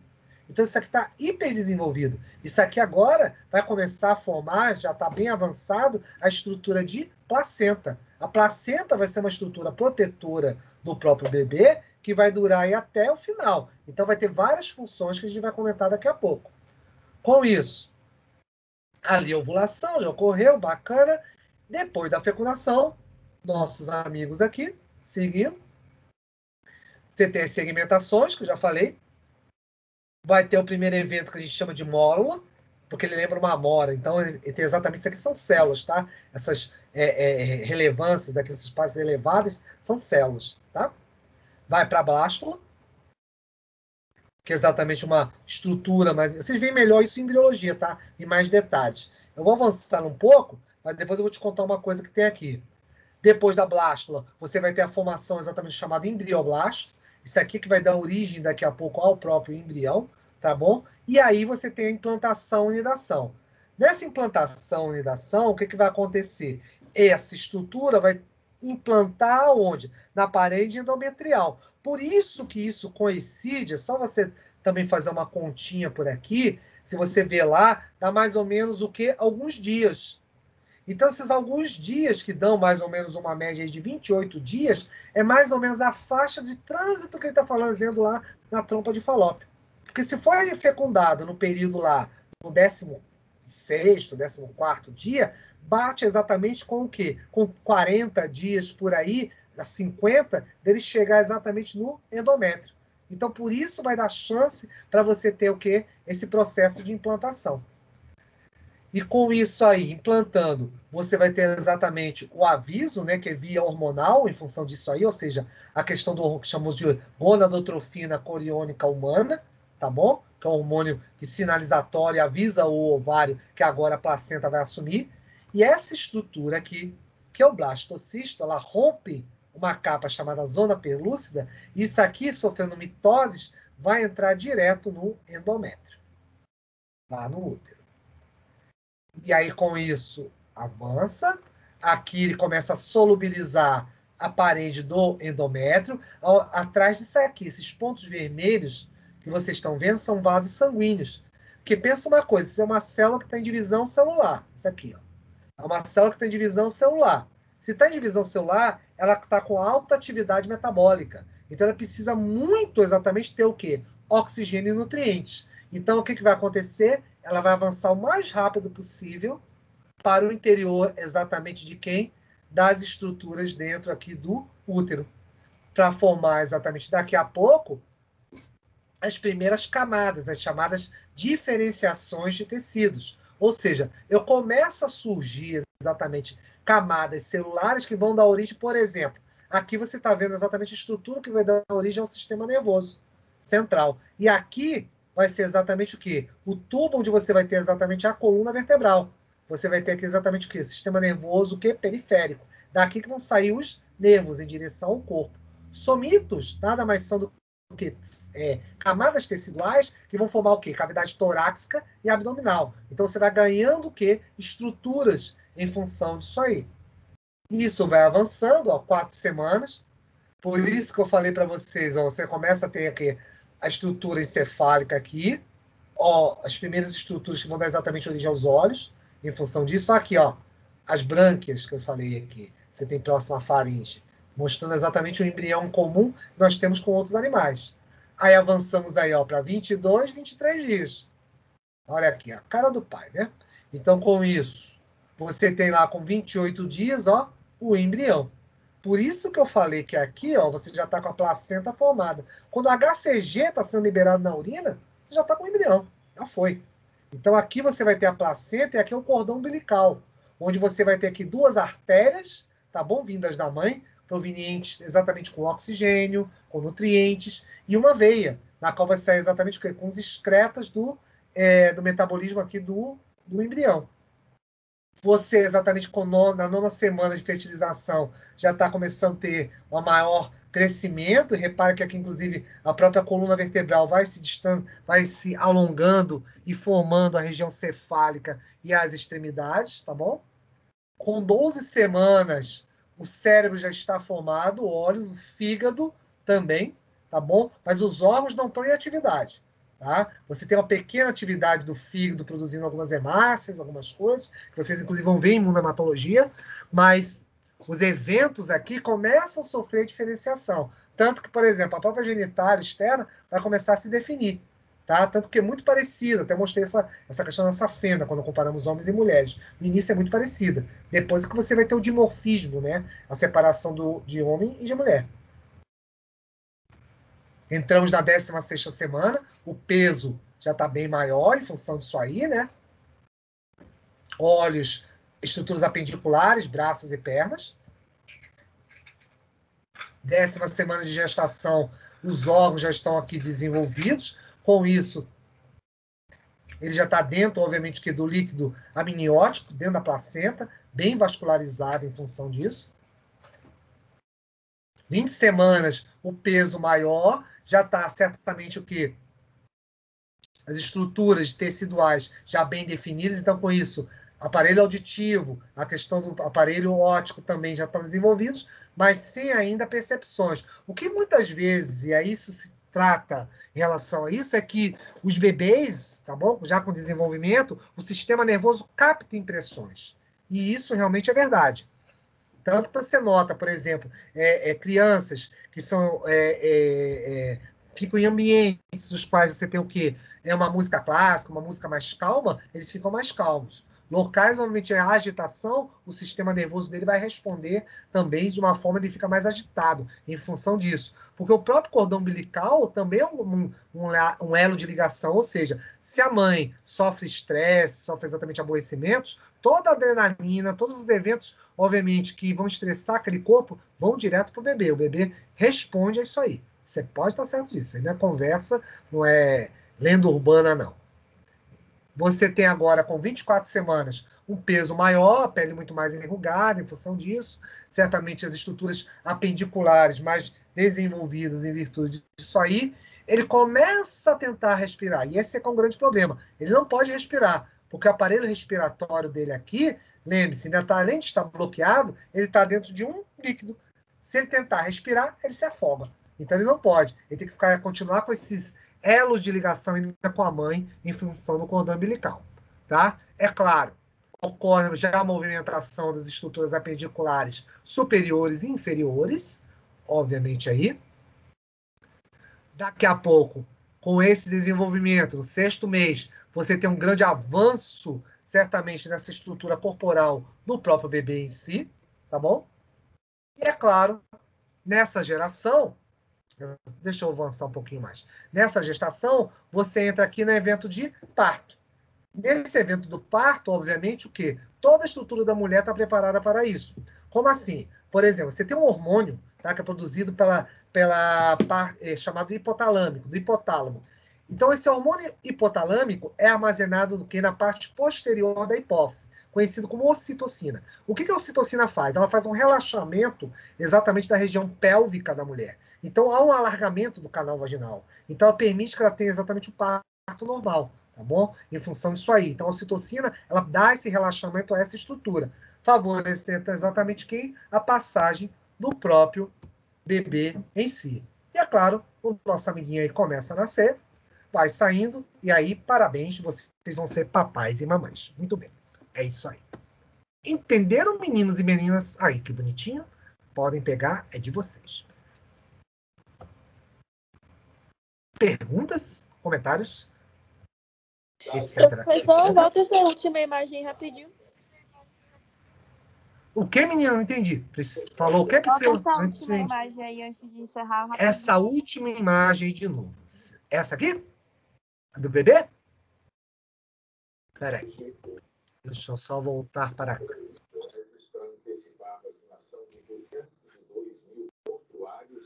Voltando.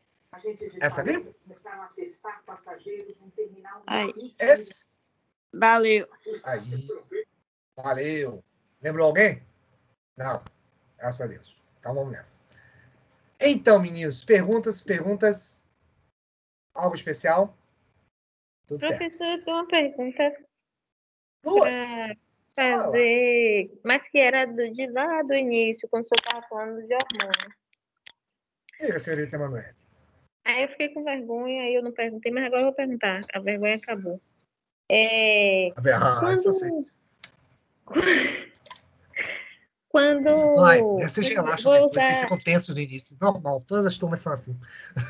Fala. Quando a mulher. Desculpa, tô brincando com é... você. Não, tranquilo. Quando a mulher perde, tipo, a vontade. Não Sim. é a vontade, não, vamos supor. O fogo Libido. não é fogo. É, é uma coisa é uma coisa parecida assim. É, porque a gente classifica cá fora como, tipo assim, as mulheres que têm, né, o, o, o desejo mais aguçado e outras que não, é mais tranquila. Mas, assim, isso tem a ver com a questão hormonal ou se trata apenas do processo das preliminares que o senhor falou lá atrás? Uma combinação dos dois. E veja só, o Emanuele, tem uma coisa muito interessante. Lembre-se que uma relação, quando se fala relação, é constituída de dois. Você não tem só um. Então, se os dois não cooperam, os dois não se integram, os dois não se somam, você tem uma relação. Você tem exatamente o quê? Um monólogo, não é um diálogo. Não é isso? Então, quando existe exatamente essa é, cumplicidade, exatamente esses eventos de, que são de interação, que é o momento a dois, tem que haver essa, essa conversa. E às vezes, exatamente essas coisas que às vezes se perdem são recuperadas. Isso é muito simples. Que depende de hormônios também. Certamente tem hormônios no meio da história, tem uma série de fatores fisiológicos, mas às vezes tudo isso é reacendido, tudo isso obviamente é descoberto, às vezes por um bom papo. Às vezes, como me perguntam isso, às vezes eu acho. Uma certa vez o médico falou que tem anticoncepcionais que levam a libido da mulher para zero, tipo, quase nada, né? É por isso que eu perguntei. Hum. é porque, veja só, o, o, você tem uma combinação aí de. Porque, veja, como ele bloqueia estrogênios, tá bom? É, você entra com estrogênios externos, às vezes pode acontecer isso, mas não é só isso. Porque você tem que ver o seguinte: a glândula, vamos lá, a suprarrenal, tá bom? Uma glândula que é encontrada acima do, do, da estrutura renal, ela produz androgênios. Produz ali quantidade de tanto de isso vale para tanto homem como mulher, tanto de é, hormônios é, sexu é, sexuais masculinos e femininos. Então, mesmo a mulher não tendo exatamente testículos, ela tem testosterona. E mesmo o homem não tendo exatamente o que? Um ovário, ele tem o que? Hormônios feminilizantes, que um atenua o outro. E a testosterona entra aí também como um evento de libido, junto com, com, a, com estrógenos. É por esse motivo. Entendeu, Manuel? Pode ser que aconteça isso também. Há essa, há essa probabilidade. Mas às vezes, um bom bate-papo ele resolve muita coisa. Eu acho. Entendeu? Mas existem fatores hormonais, sim, que estão ligados a isso também. Que aí depende, né? Depende das cargas, às vezes, às vezes. Por isso que eu falo que sempre você tem que dosar hormônios antes de você prescrever um anticoncepcional, porque vai variar exatamente, há uma variável aí de carga hormonal em função disso aí. Tá? Então é importante, às vezes você dá uma coisa muito alta, né, um teor elevado de estrógeno, progesterona, que de repente acaba bloqueando o quê? Uma série de produções hormonais vindas diretamente do sexo feminino. E a mesma coisa vale em relação ao próprio homem também, ter esse cuidado. Tem uma série de coisas que entram nessa balança, tá? É essa a grande questão. Você entendeu, Manoel? Entendi. tá certo. E vocês, meninas?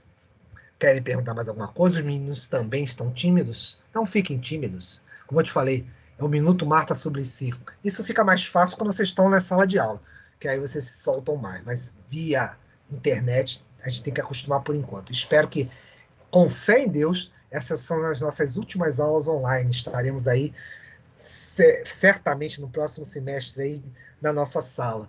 Vai ser uma opção também da gente, né? A gente poder. Vocês vão ter essa opção de aulas híbridas. Quem quiser vai para a sala, quem não quiser, fica em casa, continua assistindo aí no computador isso aí. Eu prefiro olho no olho. Mais alguma coisa, meninos? Vamos continuar? Hoje vamos, vamos o senhor vai fechar para o assunto de prova, não é isso?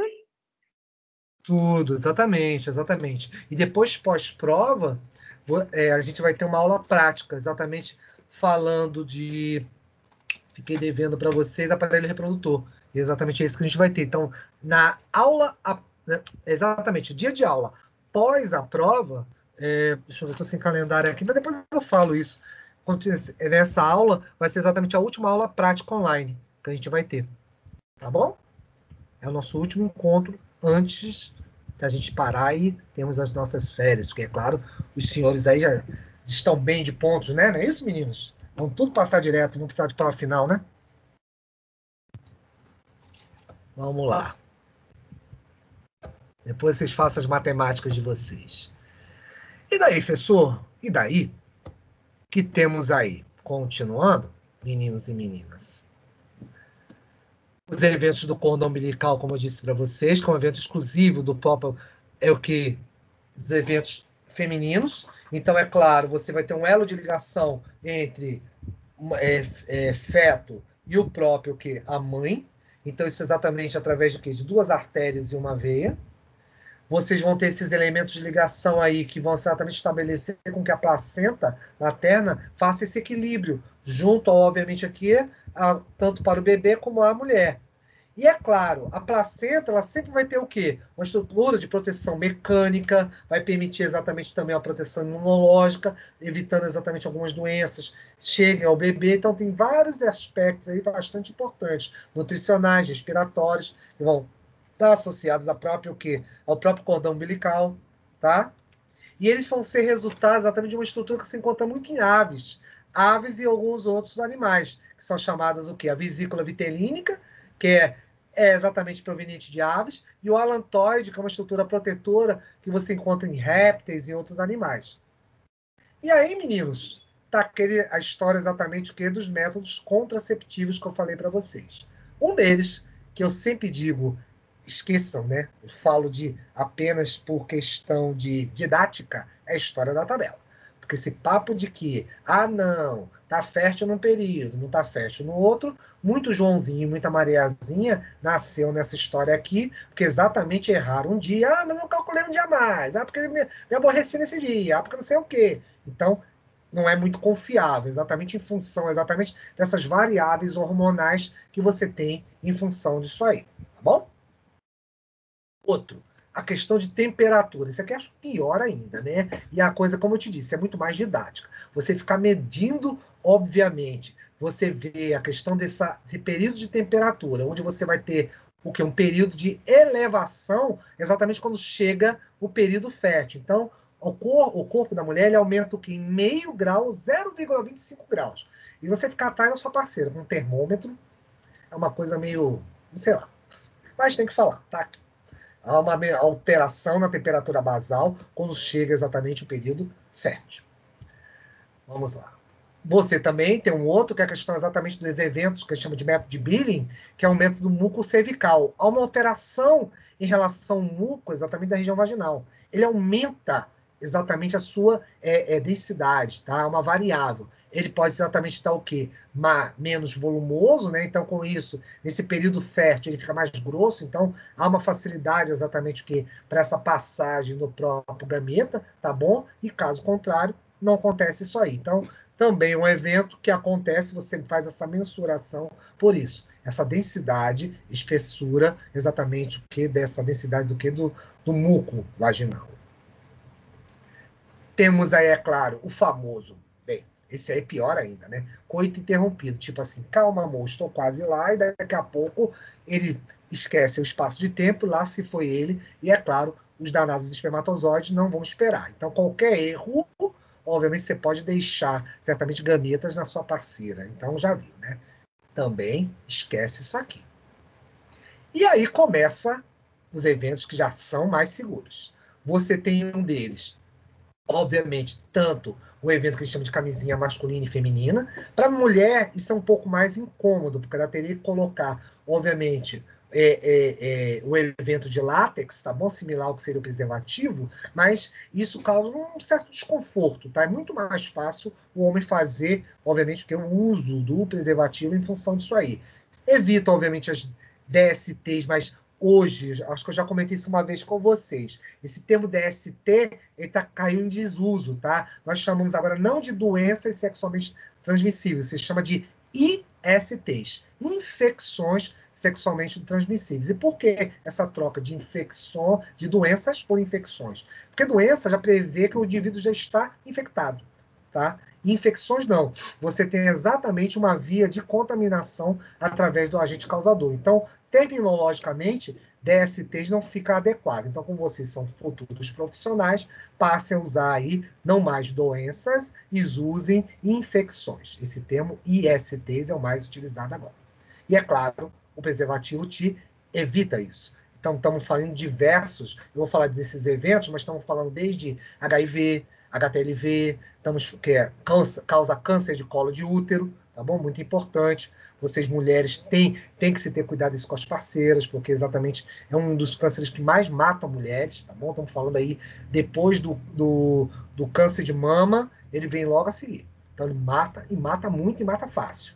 Tá? Porque quando você percebe exatamente o avanço do câncer do colo de útero, ele já está tomando, está indo em direção exatamente, realmente, já está ultrapassando o útero e está em direção ao quê? A ovários, inclusive. Então, isso tudo tem que ser muito aí, ser cuidadoso com as nossas com as parceiras.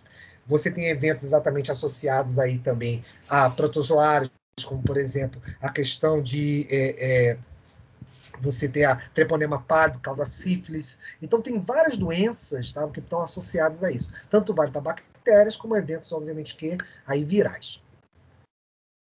Temos aí o próprio diafragma, tá bom? Também que ele é colocado, utilizado na mulher, mas também há uma possibilidade dessa história dar errado, porque se você não colocar direito, ele pode ter uma passagenzinha e vup, é o danado, aquela famosa história do um, né? Lá vai ele avançando em direção ao útero. Vocês têm aí também os chamados espermicidas, esse até tem uma certa viabilidade, porque exatamente são pomadas, são eventos exatamente de interrupção. Só um minutinho.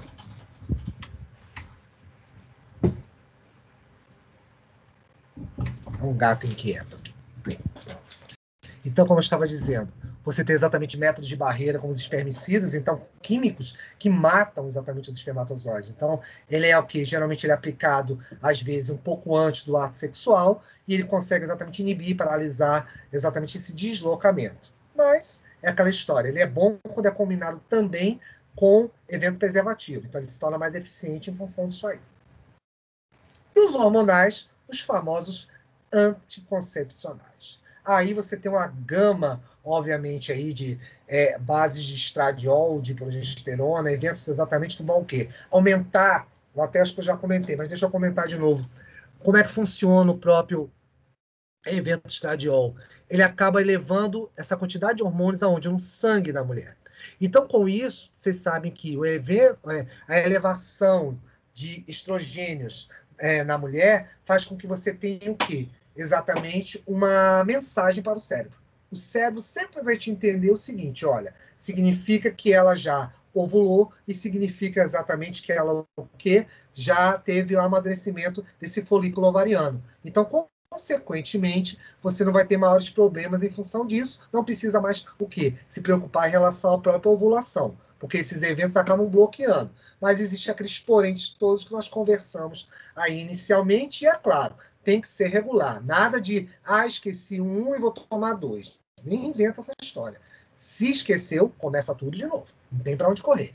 Tá? Ele é eficiente quando você segue exatamente as datas, em função disso aí. Certamente tem várias vias de administração vocês vão aprender depois isso em farmacologia. Então, pode ser o que? Intravaginal, pode ser também é, as chamadas o que? Injeções, a questão dos dispositivos subcutâneos. Tem várias formas de você ter isso aí. E, é claro, com várias concentrações também desses hormônios. Os adesivos também Aí também, aí, como eu te falei, tudo vai depender aí da conversa com o seu ginecologista e ver o que é mais viável em função disso aí, tá bom? A gente vai liberando doses exatamente de hormônios em função disso aí, os adesivos.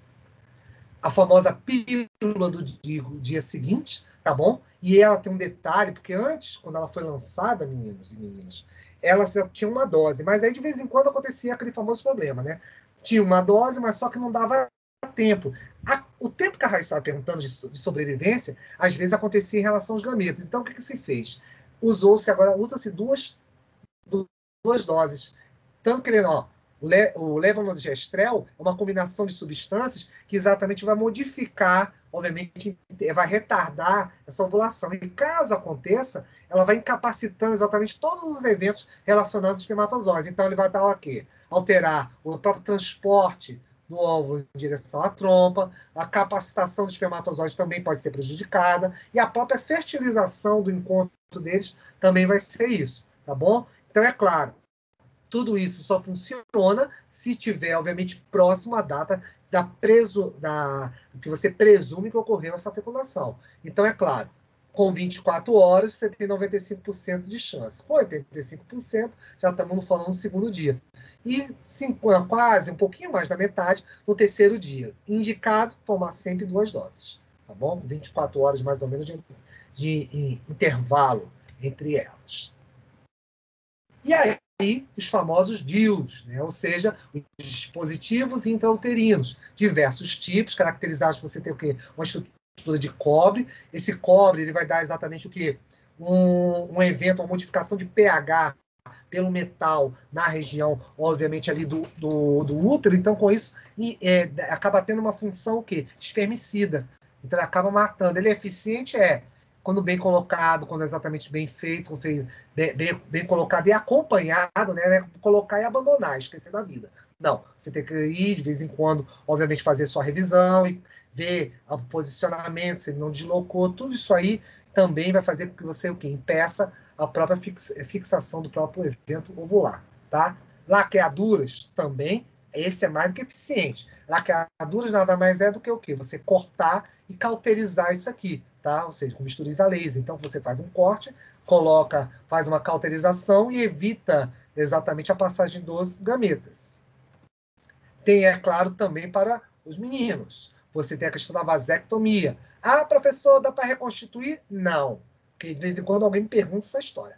Ah, professor, ele vai simplesmente não pode reconstituir isso aqui? Não. Depois que você cauteriza, qual é a ideia? Os testículos, tá, acabam tendo uma involução.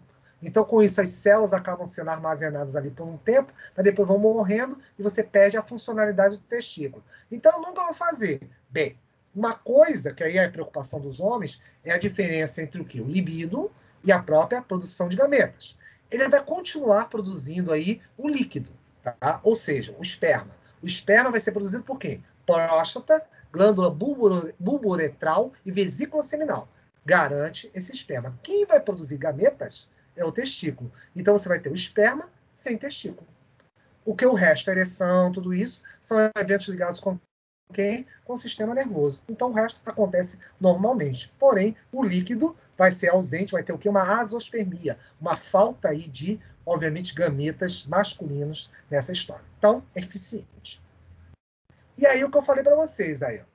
ISTs, infecções sexualmente transmissíveis, as antigas DSTs. Muito importante, tá bom? A depender do grau, do tipo, a gente pode, obviamente, ter várias delas.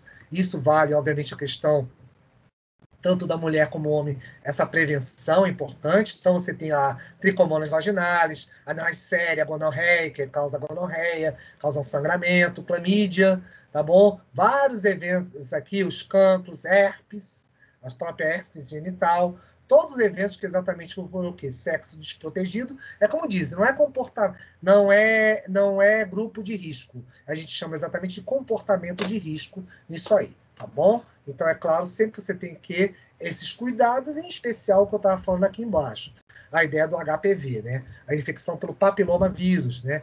Muito comuns em mulheres. Geralmente a mulher é uma infecção que às vezes passa desapercebida se ela não fizer seus preventivos, tá bom? E pode, ela pode notar exatamente alterações, pequenos sangramentos, começa um gotejamento, uma, um corrimento mais constante em função disso aí. Então, alterações que ocorrem aqui na região de local, em função disso aí.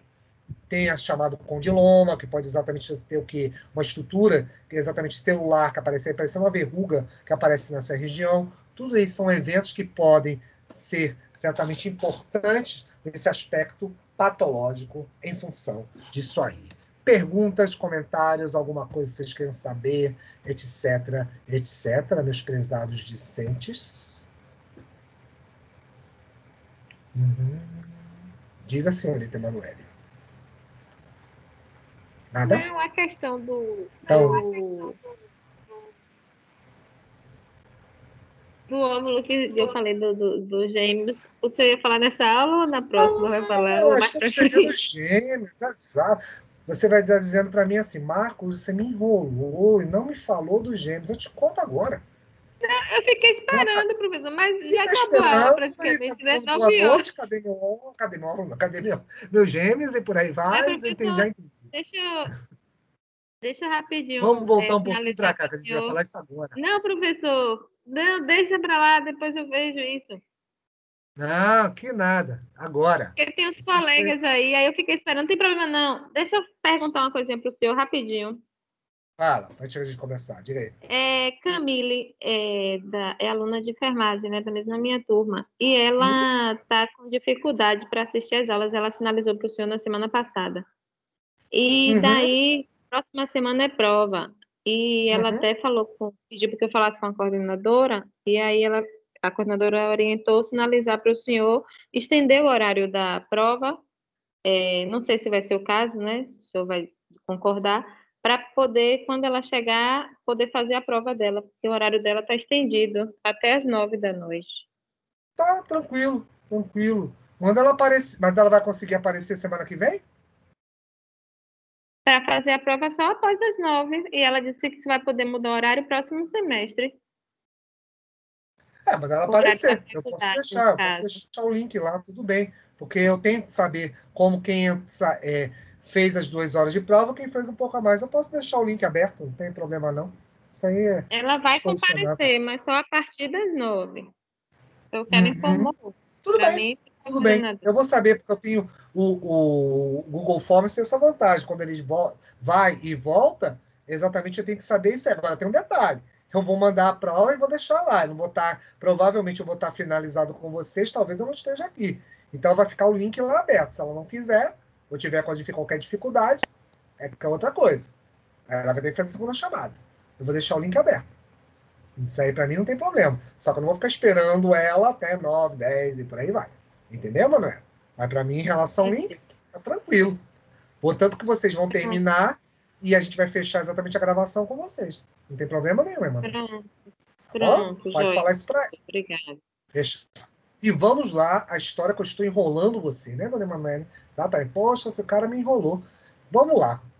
Vamos esclarecer algumas questões anatômicas. Primeiro ponto. Lembre-se que as tubas, as tubas, as tubas ou as trompas de falópio têm exatamente o que? Musculatura lisa aqui, tá bom?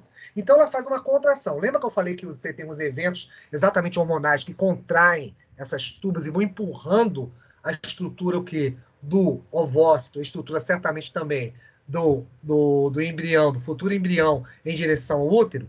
Então o que, que pode acontecer? Essa contração pode ser mais rápida. Então no momento que você tiver aí, por exemplo, a fecundação e a estrutura da célula ovo-zigoto estiver formada, pode haver uma contração que a célula seja partida ao meio. Você vai ter exatamente aquela massa celular aqui, ó. Cadê? Deixa eu mostrar uma massa celular que fica mais fácil. Peraí.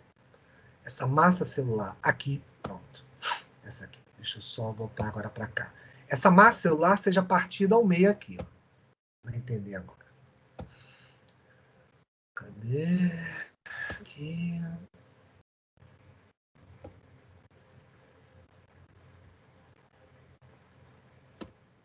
No momento que você tiver isso aqui, você tiver exatamente o que? O blastocisto, ele vai ser uma massa de células. Então, simplesmente, uma das contrações pode partir isso aqui ao meio. Ah, então o menino vai ser, sair, nascer sem cabeça, nascer sem perna. Não, vai nascer sem nada, porque isso aqui não é célula de nada. Lembra que a célula é totipotente? Ela pode formar o quê? Qualquer tipo celular. Então, se eu dividir isso aqui ao meio, eu vou ter duas massas de células iguais, com a mesma informação genética. Isso que eu, exatamente eu estou te falando, na hora que você tiver aqui, voltando aqui para trás, você tiver exatamente com essa estrutura formada e ela migrar para cá, você vai ter implantação simplesmente o quê? De duas estruturas celulares numa mesma placenta. Esse é o famoso que gêmeos idênticos, porque são exatamente o que são a partir de uma mesma camada, mesma massa de células e num único vitelo, numa única placenta. São exatamente os univitelinos, são gêmeos iguais. Mas aí você tem a outra opção, os chamados famosos os dizigóticos, bivitelinos, assim como chamam. Qual que acontece nesses indivíduos? Deixa eu arrumar aqui dois, ver. Aqui. Às vezes, vamos dizer, inseminação, isso geralmente acontece muito em inseminação de artificial, porque é difícil, é tratamentos hormonais, vamos chamar assim. Isso vai acontecer isso naturalmente, é uma chance em não sei quantos milhões. Simplesmente, lembra que eu te falei que a ovulação ocorre que alternada entre um ovário e outro? Quando você tem estimulações para a mulher exatamente ter bebês, o que acontece? Esses hormônios estimulam de uma forma tão forte, tão, é, tão eficaz que você estimula exatamente os dois ovários. Então, com isso, os dois ovários vão fazer isso, liberar dois ovócitos. Aí, num caso como esse, exatamente de fertilização, os dois espermatozoides vão, cada um para um lado, um grupo, e vão fertilizar o quê? Dois ovócitos. Com isso, formam dois óvulos. Mas só que você tem a probabilidade de ter o quê? Uma menina ou um menino. Porque esse aqui pode ter o quê? O X, tá bom? Pode ser um espermatozoide X ou espermatozoide Y. Lembre-se que o cromossomo sexual, exatamente representa os homens, é XY. A mulher é o quê? É XX. Como você tem a metade, é uma célula haploide, então você pode ter um espermatozoide que seja X ou seja Y. Por isso que a gente fala que os homens determinam a sexualidade do bebê. Eles cromossomicamente é quem escolhe, porque o espermatozoide pode ser X ou Y é uma, é uma questão exatamente aí, é, vamos dizer assim, de ao acaso. Então aqui você pode fecundar um aqui que seria uma menina e um aqui que seria um menino. Você vai formar o quê? Ter duas implantações, duas placentas, e esses exatamente são os dizigóticos. São exatamente os bivitelinos. Você tem o quê? Duas estruturas placentárias aqui. É isso. O gêmeo é isso. Simples assim. Entendeu, Manuel? Entendi, não me senti mais enrolada, não. Tudo ok. Não se sente mais enrolada, não? Tá bom. Não, não, não fugir da sua pergunta. Não fugir de nenhuma delas. E os outros me perguntar por que quiser, o que eu posso fazer. Também não posso obrigar. Querem perguntar ainda alguma coisa, meninos? Manda aí. Quiser, a hora é essa. Tá tudo certo? Estão sabendo tudo? Então tá bacana. Então tá ótimo. Então, garotos, a gente termina então por aqui. Semana que vem nos encontramos aqui, tá bom? Na sala, para passar exatamente o link da prova, tá bom? E, consequentemente, a gente poder executá-la aí, tá? E na outra semana posterior, após a semana de prova, vamos fazer a nossa última aula prática e a gente poder dar um desfecho nisso aí. E assim espero encontrar vocês pelos corredores da faculdade. Uma aula híbrida ou qualquer coisa parecida, né? Alguma morfo por aí, quem sabe, bom? Então ficamos assim. Ninguém tirar mais nenhuma dúvida? Então tá bom. Então, Camila Weber, Alisson, Camille Vivekananda, senhorita Daurineia, senhorita Emanuele, Fernanda, Isabela, Joyce, Juliana, Luana, Luana, opa, passei rápido, Araújo, Luana Coutinho, Neilene, Priscila, Raíssa, Rosiane, excelente noite para vocês, satisfação em trabalhar aí essas aulas teóricas, que agora oficialmente... Boa noite, professor. Oi? Fale. Não entendi. Boa noite, até a próxima Boa semana. Boa noite, até a próxima semana, dona Daunineia. Perfeito. Então, com isso a gente termina a nossa parte teórica aqui. Prazer trabalhar com vocês e a gente ainda se encontra ainda. Ainda não nos despedimos totalmente, né? Vamos aí ainda ter algumas coisas aí. Tá bom? Abraços a todos, excelente noite. Valeu, garotos e garotas. Boa noite. Tchau, professor. Boa noite. Boa noite, Raíssa. Boa noite, Camille. Boa noite, meninas, Emanuele. Boa noite vocês todos aí. Inclusive, as aulas do senhor são perfeitas também. Queria muito que tivesse sendo presencial. logo, logo, Camille. Você tem que semestre? No primeiro. No primeiro? Ah, então a gente vai se encontrar por aí. Uma imuno. Ainda mais semestre que vem. Vai ter imuno, vai ter aí. Vai ter nervoso, vai ter um monte de coisa legal. Não se preocupa, não. Ótimo. A gente vai se encontrar logo. Mais que você imagine. Valeu, Camille. Também satisfação trabalhar com vocês. Valeu. Muito obrigado. Um abraço. Tchau, tchau.